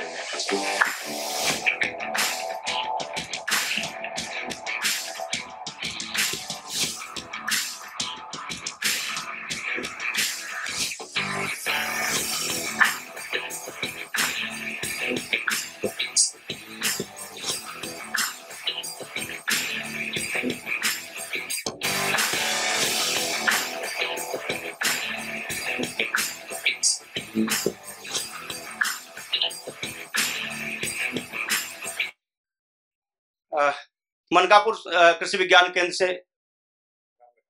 राम लखन सिंह जी। ही। हमारे अगले प्रतिभागी कृषि विज्ञान केंद्र बस्ती से हैं राघवेंद्र विक्रम सिंह जी। राघवेंद्र विक्रम सिंह जी के प्रकाश वीर जी उनके जगह पर आए हुए हैं। कृषि विज्ञान केंद्र बस्ती पूरे देश में हम स्थान रखता है और आईसीआर का जो सबसे बड़ा पुरस्कार कृषि विज्ञान केंद्रों को दिया जाता है बीते साल जो है 2021 में ये पुरस्कार कृषि विज्ञान केंद्र बस्ती को प्रदान किया गया था और रिसर्च इन फ़ार्मिंग के लिए कृषि विज्ञान केंद्रों का काम होता है कि किसानों के खेतों में जाएँ उनको त, जो तकनीकी जानकारियाँ हैं जो व्यवहारिक जानकारियाँ हैं उसको बताएँ और किसों को अडॉप्ट करने की जानकारियाँ दें। तो इसका जो अवार्ड प्रदान किया जा रहा है कृषि विज्ञान केंद्र बस्ती को प्रदान किया जा रहा है।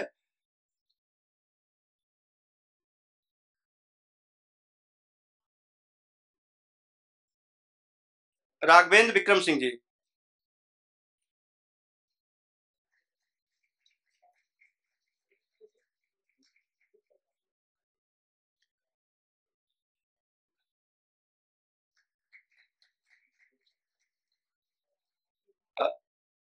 माननीय मंत्री जी को दूसरे कार्यक्रम में जाना है। मैं चाहूँगा कि अ, उमाशंकर पांडे जी दो शब्द बताना चाह रहे हैं कि पानी को बचाने के लिए वो क्या प्रयास कर रहे हैं। उसके बाद माननीय मंत्री जी से गुजारिश करूँगा।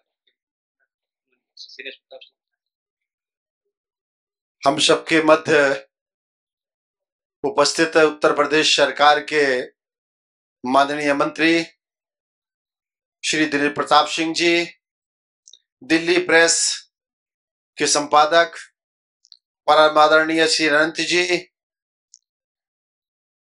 उपस्थित उत्तर प्रदेश और उत्तरांचल के अनुभव प्रयोग करने वाले भारत के, भारत को अन्न भोजन प्रदान करने वाले हमारे किसान बंधु, मेरा यहाँ जो आना हुआ है, अनंत जी और दिल्ली प्रेस, भारत का एक ऐसा प्रेस है जो समाज में अच्छे काम करने वालों को आगे बढ़ाने का काम करता है। तैतीस पत्रिकाएँ दिल्ली प्रेस की हैं। 1940 से एक भी दिन इनकी कोई पत्रिका बंद नहीं हुई। बच्चों के लिए है, किसानों के लिए है, वैज्ञानिकों के लिए है, महिलाओं के लिए है, जिनकी राजनीतिक सोच है उनके लिए है, और अंतरराष्ट्रीय स्तर पर क्या हो रहा है उसके लिए भी है। मैं यहाँ पद्मश्री की हैसियत से नहीं आया। एक मेरे मित्र हैं, अनंती जी ने जब मुझे ज्यूरी में बुलाया कि पांडे जी पाँच सौ लोगों के आवेदन आए हैं और ऐसे लोगों को जिनके आवेदन पढ़ करके सौ सौ पेज के जिनके बायोडाटा थे, उनको छांटने में हमें दिक्कत हो रही थी, हम किनको पुरस्कार दें और किनको ना दें। ऐसी स्थिति में मेहनत जी आपका, भानु जी, आपने जो मेहनत करी, उसके लिए भाई बृहस्पत पांडे जी, ऐसे प्रयोगों से पूरे देश में दिल्ली प्रेस ने किसानों को सम्मानित करने का निर्णय लिया है, जिन्होंने अच्छे काम किए हैं वो अन्न के क्षेत्र में है, गौपालन के क्षेत्र में है, जल संरक्षण के क्षेत्र में है, तकनीकी ज्ञान के क्षेत्र में है, हम लोग रोज कहीं ना कहीं किसी ना किसी कार्यक्रम में रहते हैं। लेकिन ऐसे लोगों से जो जमा ज़मीन पे काम कर रहे हैं, जिनको सम्मान करके सम्मान का मान बढ़ता है, ऐसे किसान यहाँ पर मौजूद हैं, ऐसे नौजवान हैं, बहने हैं, मैं सबको बधाई देता हूँ, शुभकामनाएँ देता हूँ। माननीय प्रधानमंत्री जी ने इस देश के भाग्य के निर्माण के लिए जो गाँव से हीरे चुने थे, हमें नहीं पता। हम जैसे व्यक्ति को गाँव से निकलने के बाद पद्म सम्मान मिलेगा हम नहीं हमें नहीं पता था। ऐसे बहुत सारे लोगों को देश में उन्होंने पद्म सम्मान दिया और राष्ट्रीय स्तर पर मंच पे लाने का काम किया। बुंदेलखंड क्षेत्र से मैं आता हूँ और मेरा एक छोटा सा मंत्र था, खेत पर मेड़ और मेड़ पर पेड़। जब उसको मैं चिल्लाता रहा, कोई नहीं सुना। लेकिन इस देश के एक व्यक्ति, प्रधानमंत्री जी ने पूरे देश के प्रधानों को पत्र लिखा कि खेत पर मेड़ बनाइए और मेड़ सहित परंपरागत इसको पानी को रोकिए। सौ बार मन की बात में चार बार हमारे बांदा के काम का उल्लेख किया। ये छोटी बात नहीं थी। ढाई लाख लोगों को, प्रधानों को पत्र लिखना छोटी छोटी विधि की बात करना और साथ में अटल भूजल योजना जैसी योजना बांदा के मेरे जखनी मॉडल पे छह हज़ार करोड़ की बनी। मेरी कोई एनजीओ नहीं है। कोई संस्था नहीं है, कोई कार्यालय नहीं है, कोई ऑफ़िस नहीं है। एक रुपया हमने कोई अनुदान नहीं सरकार से लिया है। हम सब समाज के लिए काम कर रहे हैं। देश हमारा है, राष्ट्र हमारा है। ये राष्ट्र मज़बूत होगा, हम सब मज़बूत होंगे। राष्ट्र हमें देता है सब कुछ। हम भी तो कुछ देना सीखें। माननीय मंत्री जी ने कितनी सुंदर बात कही है। कम शब्दों में हम सब के बीच में उन्होंने किसानों को संबोधित किया। मैं आपसे कहूँगा जब व्यक्ति माँ के गर्भगृह में होता है तो पानी में होता है। जब वो बाहर आता है तो पानी से नवाया जाता है। जब उसका अंतिम संस्कार होता है तो पानी से होता है। जब वो राख बचती है तो पानी में डाली जाती है। अर्थात जल जीवन है, जल में जीवन है और मेरी माँ एक बात और कहती थी, वो आज नहीं है। हर व्यक्ति को मेरी गुरु माँ है और मुझे जीवन में दो कष्ट अपने जीवन के हैं। बहुत सम्मान राष्ट्र ने दिया। देश का पहला पानी का पुरस्कार भारत सरकार ने दिया। देश का पहला जल योद्धा पुरस्कार, जल शक्ति मंत्रालय ने एक ही जल योद्धा पुरस्कार दिया और इसके बाद बंद कर दिया। वो भी एक छोटे से व्यक्ति को मिला, लेकिन वह पुरस्कार मैं अपनी माँ के हाथों में नहीं रख सका। इसलिए मैं आप सबके माध्यम से एक बात और कहूँगा कि माँ से बड़ा इस सृष्टि में कोई नहीं है, पिता से बड़ा इस सृष्टि में कोई नहीं है जो स्वयं गीले में सोती है, सूखे में सुलाती है और वह भगवान है। इसलिए वृद्धाश्रम में भगवान न जाने पाए। और एक दो बात कह के मैं अपनी बात समाप्त करूँगा। अनंत जी, आप अद्भुत काम कर रहे हैं। देश के मीडिया से हट के आप काम कर रहे हैं। आपने, मैंने दो तीन कार्यक्रम आपके खजुराहो में भी एक आपने कार्यक्रम किया था। अयोध्या जी में एक बड़ा कार्यक्रम आपका हुआ था। भोजपुरी सिनेमा के लोगों को आपने अवार्ड किए थे अपने संस्थान की ओर से। तमाम देश के दिग्गज फ़िल्म स्टार उसमें आए थे। मेरा अपना मानना यह है और मैं ये समझता हूँ और जान, मुझे, मेरी मन में कोशिश होती है कि हम अपने से राष्ट्र के लिए तय करके चलें कि राष्ट्र में मेरी भागीदारी क्या होगी। हमारे पास आज भी मेरी बिजली नहीं है। लोग देख सकते हैं, मेरे आगे डीएम साहब से पता लगा सकते हैं। लेकिन उस बुंदेलखंड में मैंने काम किया, जिस बुंदेलखंड में मालगाड़ी से पानी आता था। आज बुंदेलखंड में बताते हुए माननीय मंत्री जी यहाँ बैठे हैं, बताते हुए प्रसन्नता हो रही है, उत्तर प्रदेश सरकार में सर्वाधिक गेहूँ बांदा मंडल से खरीदा प्रदेश सरकार ने। और उस चित्रकूट में जहाँ बांदा से मालगाड़ी, सवारी गाड़ी में पानी जाता था महाराज गोस्वामी तुलसीदास जी पैदा हुए हैं, वहाँ से उत्तर प्रदेश सरकार ने 25 लाख कुंटल धान उत्तर प्रदेश के किसानों से बांधा के चित्रकूट खरीदा है। ये मैं नहीं कह रहा, ये सरकार कह रही है।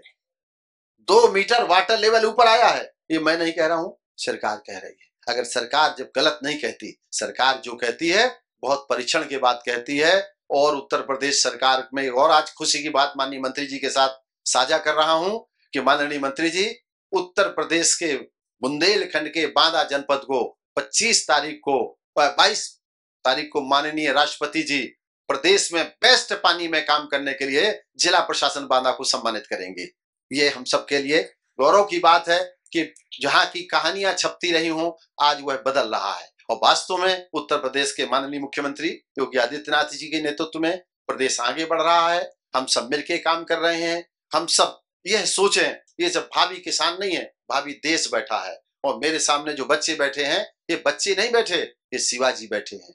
ये बेटियाँ नहीं बैठी, ये लक्ष्मीबाई बैठी हैं और मीराबाई बैठी हैं। मैं इस उद्देश्य से आपके साथ बात कर रहा हूँ। ये तय कर लीजिए अपने जीवन में कि मुझे कुछ बनना है, संकल्प लेना है और मुझे 25 वर्ष पहले जब राज्यपाल पुरस्कार मिला, सूरजबान साहब गवर्नर थे राम प्रकाश साहब मुख्यमंत्री थे, उन्होंने दो बातें कही थी कि मुझे विश्वास अगर आप काम पे रहे तो आने वाले समय में आपको पद्म सम्मान मिलेगा। और यात्रा करते करते नेशनल अवार्ड मिलते मिलते आप सबके बीच में बहुत सारे चेहरे रहे कि सेवा के क्षेत्र में मुझे पद्म सम्मान मिला।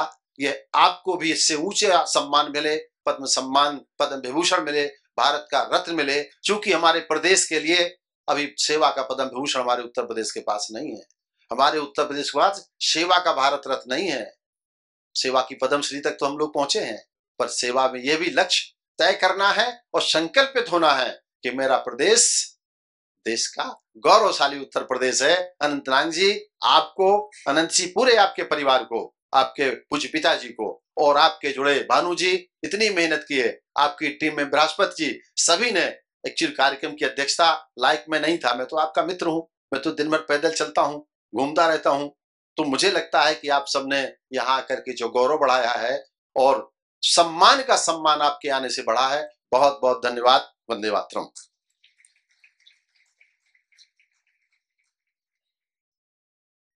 हमारे माननीय मंत्री जी को दूसरे कार्यक्रम में जाना है तो मैं चाहूँगा संपादक जी से वो माननीय मंत्री जी को सम्मान, स्थान तक ले जाएँ। और पुनः धन्यवाद देता हूँ। माननीय मंत्री जी ने समय दिया, हम लोगों का हौसला बढ़ाया, हमारे किसानों का हौसला बढ़ाया और आपने देश और दूसरे जो दूसरे प्रदेशों के भी किसान आए उनका भी हौसला बढ़ाया, उत्तराखंड से आए किसानों का हौसला बढ़ाया। अभी किसान बैठे रहेंगे क्योंकि हमारा जो अवार्ड सेरेमनी है, अभी करीब पंद्रह किसान हम लोगों के सम्मानित होने हैं विभिन्न श्रेणियों में, उत्तर प्रदेश और उत्तराखंड से। और अगली श्रेणी के लिए हम जिनको बुलाएँगे,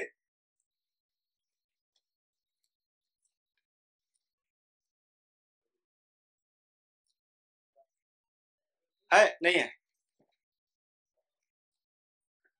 सुभावरी चौहान जी। सुभावरी चौहान जी ट्रैक्टर चलाने से लेकर के पशुपालन, खेती मराई हार्वेस्टिंग मतलब जितना भी खेती का काम करता आ, होता है सब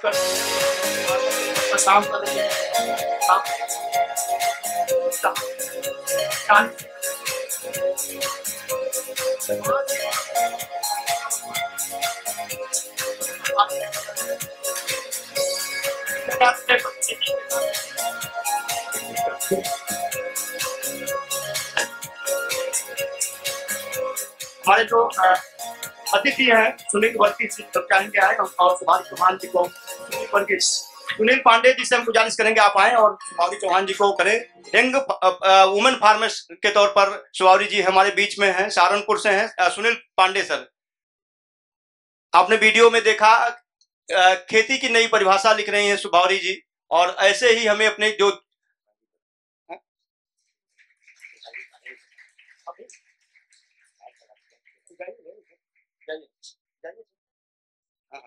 भानु सर से मैं गुजारिश करूँगा अभी चूँकि बहुत ही प्रोत्साहित किया है सुभारी जी को यहाँ तक आवेदन करने से लेकर के और यहाँ तक आने में।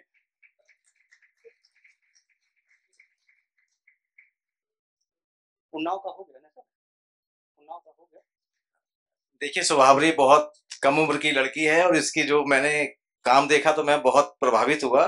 मैं मेरठ गया हुआ था डॉक्टर सेंगर साहब के पास में तो सुभावरी वहाँ पे आई हुई थी। इसके अपनी मदर के साथ में तो मैं सचमुच में बहुत इसका जो काम देख मैं दंग रह गया मैं रोक नहीं पाया। तो इसने मुझको तभी सारा भेजा दो दिन बाद भर के सारा फार्म तो इसका सचमुच में बहुत तारीफ़ वाला काम है। मैं इनको बहुत बहुत शुभकामनाएँ देता हूँ। धन्यवाद। थोड़ा सा एक क्लियर, करना वो नाव का अवार्ड हो गया है क्या?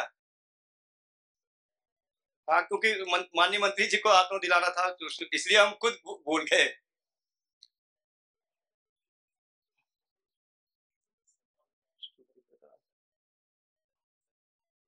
अब हम उत्तराखंड के किसानों को बुलाएँगे और उत्तराखंड में खेती थोड़ा जटिल है क्योंकि वहाँ पर ज़्यादातर कंटूर फ़ार्मिंग होती है, पहाड़ों की खेती है सीढ़ीदार खेत बनाए, बनाने पड़ते हैं और उसके लिए जो पहाड़ों पर पानी को रोकना होता है, थोड़ा जटिल काम होता है। वहाँ पर कृषि यंत्रों का संचालन भी जटिल कार्य है।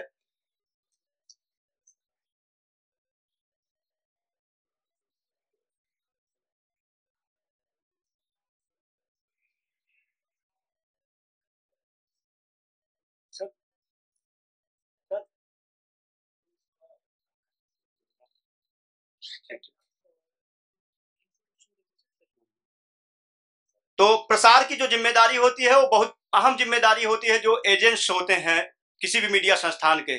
तो ऐसे एजेंट्स का, ऐसे हाकर्स का जो लोगों तक पत्रिकाएँ या अखबार को या मीडिया संस्थान को पहुँचाने का काम कर रहे हैं, उनको भी समय समय पर सम्मानित किया जाना चाहिए। इससे हौसला बढ़ता है और मीडिया संस्थान की पहुँच की जो तारतम्यता है, वो न केवल बढ़ती है, बल्कि रीच जो उसकी पहुँच है, लोगों तक लगातार बढ़ती ही रहती है। हमारे बीच में ऐसे ही कुछ दिल्ली प्रेस के साथी हैं, जो दिल्ली प्रेस के साथ कंधे से कंधा मिलाकर प्रसार की ज़िम्मेदारी संभाले हुए हैं। उसमें एक नाम है, शर्मा न्यूज़ एजेंसी लखनऊ से हैं, गोपाल शर्मा जी। और उनको सम्मानित करेंगे संस्थान के कार्यकारी संपादक श्री अनंतनाथ सर। गोपाल शर्मा जी से गुजारिश करेंगे आप आए और अपना सम्मान ग्रहण करें। शर्मा न्यूज़ एजेंसी से लखनऊ से हैं।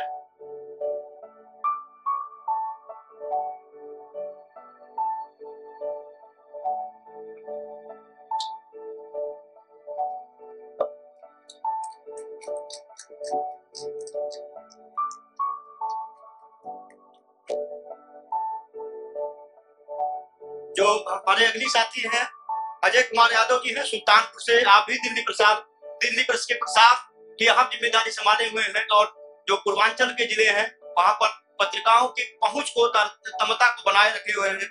अभय कुमार यादव जी। अजय कुमार यादव।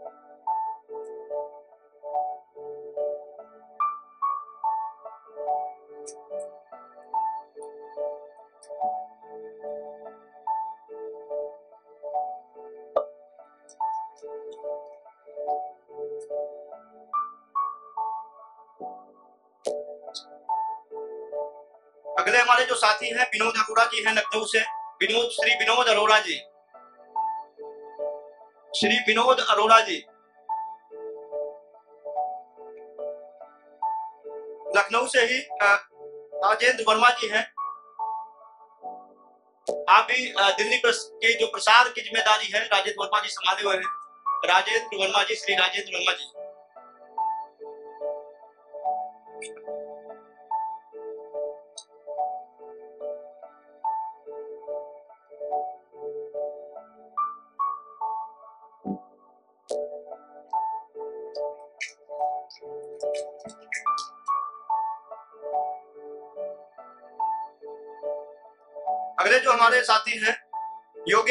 जी हैं, आप भी लखनऊ से हैं, योगेश कुमार जी।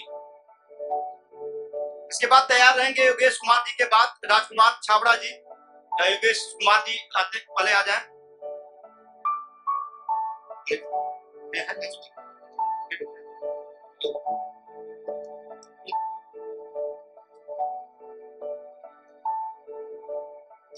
विमल यादव जी तैयार रहेंगे। कानपुर से है विमल विमल यादव जी।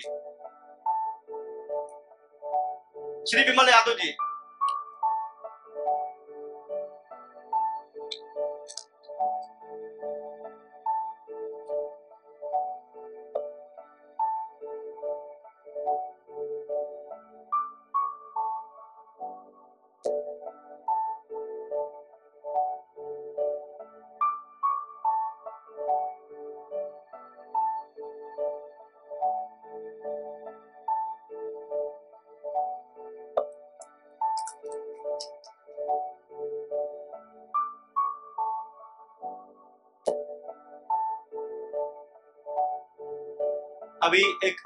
फ़ोटो होगा सबका एक साथ। अ, उसके पहले आपने हमारे अनुरोध को स्वीकार किया आपने नॉमिनेशन भेजा।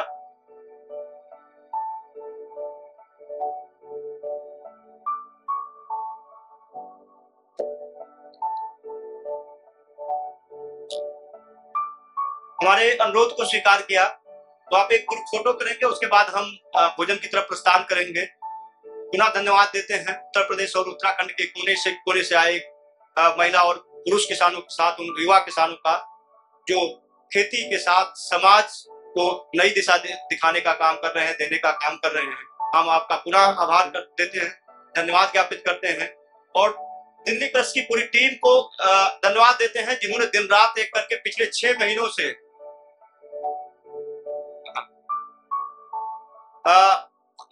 लगातार इस कार्यक्रम की सफलता को नया आयाम देने की कोशिश की है, लेकिन समाज के दो ऐसे व्यक्ति को हम लोग सम्मानित करने के लिए यहाँ बुलाएँगे, जिन्होंने मैं बार बार बात कर रहा था सतत विकास लक्ष्य की सस्टेनेबल डेवलपमेंट गोल की, और खेती, पानी, इन सारी चीज़ों की बातें उसमें शामिल की गई हैं, उसमें कुछ गोल्स तय किए गए हैं।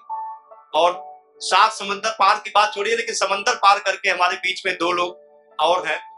और दोनों लोग इन्हीं मुद्दों पर काम कर रहे हैं।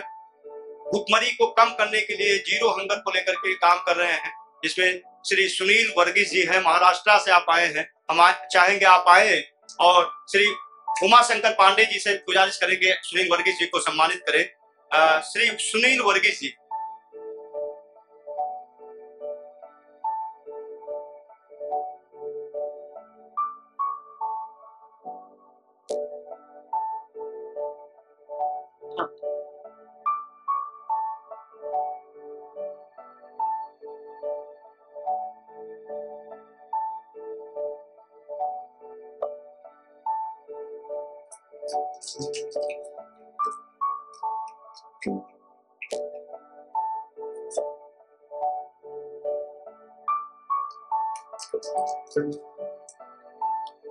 अगले जो हमारे अवार्डी हैं बिहार में लंबा अनुभव रहा है और बिहार की कहानियों को, किसानों की कहानियों को हमने लगातार तीन सालों तक कवर किया था और हमको संसाधन मुहैया कराया था वहाँ रहने के लिए, किसानों के पास जाने के लिए श्री सुनील पांडे जी ने। तो मैं चाहूँगा सुनील पांडे जी भी मुंबई में इस समय कार्यरत हैं और हमारे बीच में हैं। किसानों को प्रोत्साहित करने का बहुत लंबा अनुभव रहा है, लगभग बीस सालों का अनुभव रहा है। तो श्री सुनील पांडे जी को भी सम्मानित करेंगे श्री उमाशंकर पांडे जी।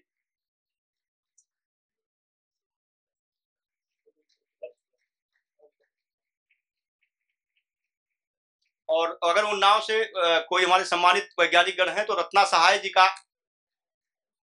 रत्ना सहाय जी का एक अवार्ड है, आप ग्रहण कर लें। रत्ना सहाय जी जितने भी कृषि विज्ञान केंद्र के स्टॉल लगते हैं लखनऊ में आसपास के जनपदों में, वहाँ तकनीकी जानकारियाँ उपलब्ध कराने का काम करती रही हैं। रत्ना सहाय जी।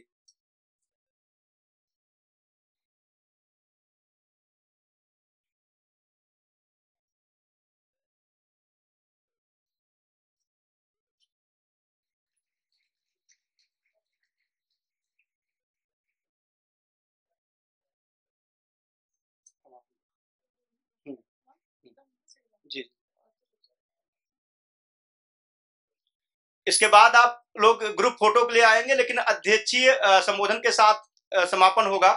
हमारी तरफ़ से समापन की घोषणा की जाती है, लेकिन अध्यक्षीय संबोधन के साथ ही समापन होता है। तो आज के कार्यक्रम की अध्यक्षता पद्म श्री अवार्डी श्री उमाशंकर पांडे जी ने किया। यहाँ संबोधन के बाद आप ग्रुप करने, फ़ोटो के लिए आएँगे, उसके बाद भोजन के लिए प्रस्थान करेंगे। जिन महानुभावों को हम सबको सम्मानित करने का अवसर मिला है, ऐसे महानुभाव क्रमशः दो पंक्ति में एक में बहने, भगिनी और दूसरे में भाई लोग। कहानी से एक छोटी सी दो लाइन की इसके बाद समापन करूँगा। और जो अनंत जी ने दिल्ली प्रेस ने प्रयास किया है, बस दो मिनट की कहानी है। दो मिनट केवल आप समय दीजिए। अनंत जी, एक जंगल में आग लग गई थी।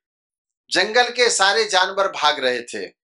उसमें एक चिड़िया, अनंत जी ने जो काम किया, अनंतनाथ जी ने जो काम किया है एक चिड़िया अपनी चोंच से पानी ला रही थी और उस आग में डाल रही थी। हाथी ने पूछा, चिड़िया बहन, क्या तुम्हारे आधा बुंदा पानी से आग बुझ जाएगी? जो चिड़िया ने उत्तर दिया, वही अनंत जी का और दिल्ली प्रेस का प्रयास है।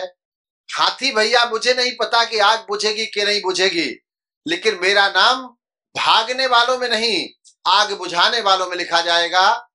यह प्रयास दिल्ली प्रेस का है और मैं आप सबसे निवेदन करूँ, मेरे यहाँ जो मेरे साथी आए हैं, मेरा कोई काम नहीं है। सब समाज का काम है। हम तो एक प्रयास कर रहे हैं। उस प्रयास में सहभागी है। इसलिए आप सब आज आए हैं। आप सबका स्वागत है। और एक और जानकारी दे के अपनी बात समाप्त करूँ कि चूँकि पद्म सम्मान का जो एसोसिएशन है भारत में, विचार मंच है, उसका सेक्रेटरी जनरल होने के नाते भी मैं आप सबका स्वागत बंदन अभिनंदन करता हूँ। जो लोग कपल्स आए हैं वो पत पत्नी आए हैं वो भी मंच पर आ जाए क्योंकि बार बार मौका नहीं मिलता है। आ, सभी अतिथियों से जूरी मेंबर से मैं गुजारिश करूँगा आप मंच पर आ जाएँ। कपल्स जो आए हैं पत पत्नी साथ आए हैं वो भी मंच पर आ जाएँ क्योंकि एक आ, आ, हमारे जीवन का एक अहम हिस्सा होता है सम्मान अवार्ड होना। हमारे बीच में सारे अतिथिगण जूरीगण और आ, कपल्स पत पत्नी या बच्चे जो अपने माता पिता के साथ आए हैं सभी लोगों से गुजारिश करूँगा आप मंच पर आ जाएँ। आ जाएँ सर पत पत्नी जितने लोग आज आए हैं, सभी लोग आ जाए मंच पर। पत पत्नी बच्चे किसी, इसीलिए इनवाइट किया गया था कि इस अमूल्य क्षण का आप लोग भागी बने, आप लोग ग्रुप फ़ोटो करा ले साथ में।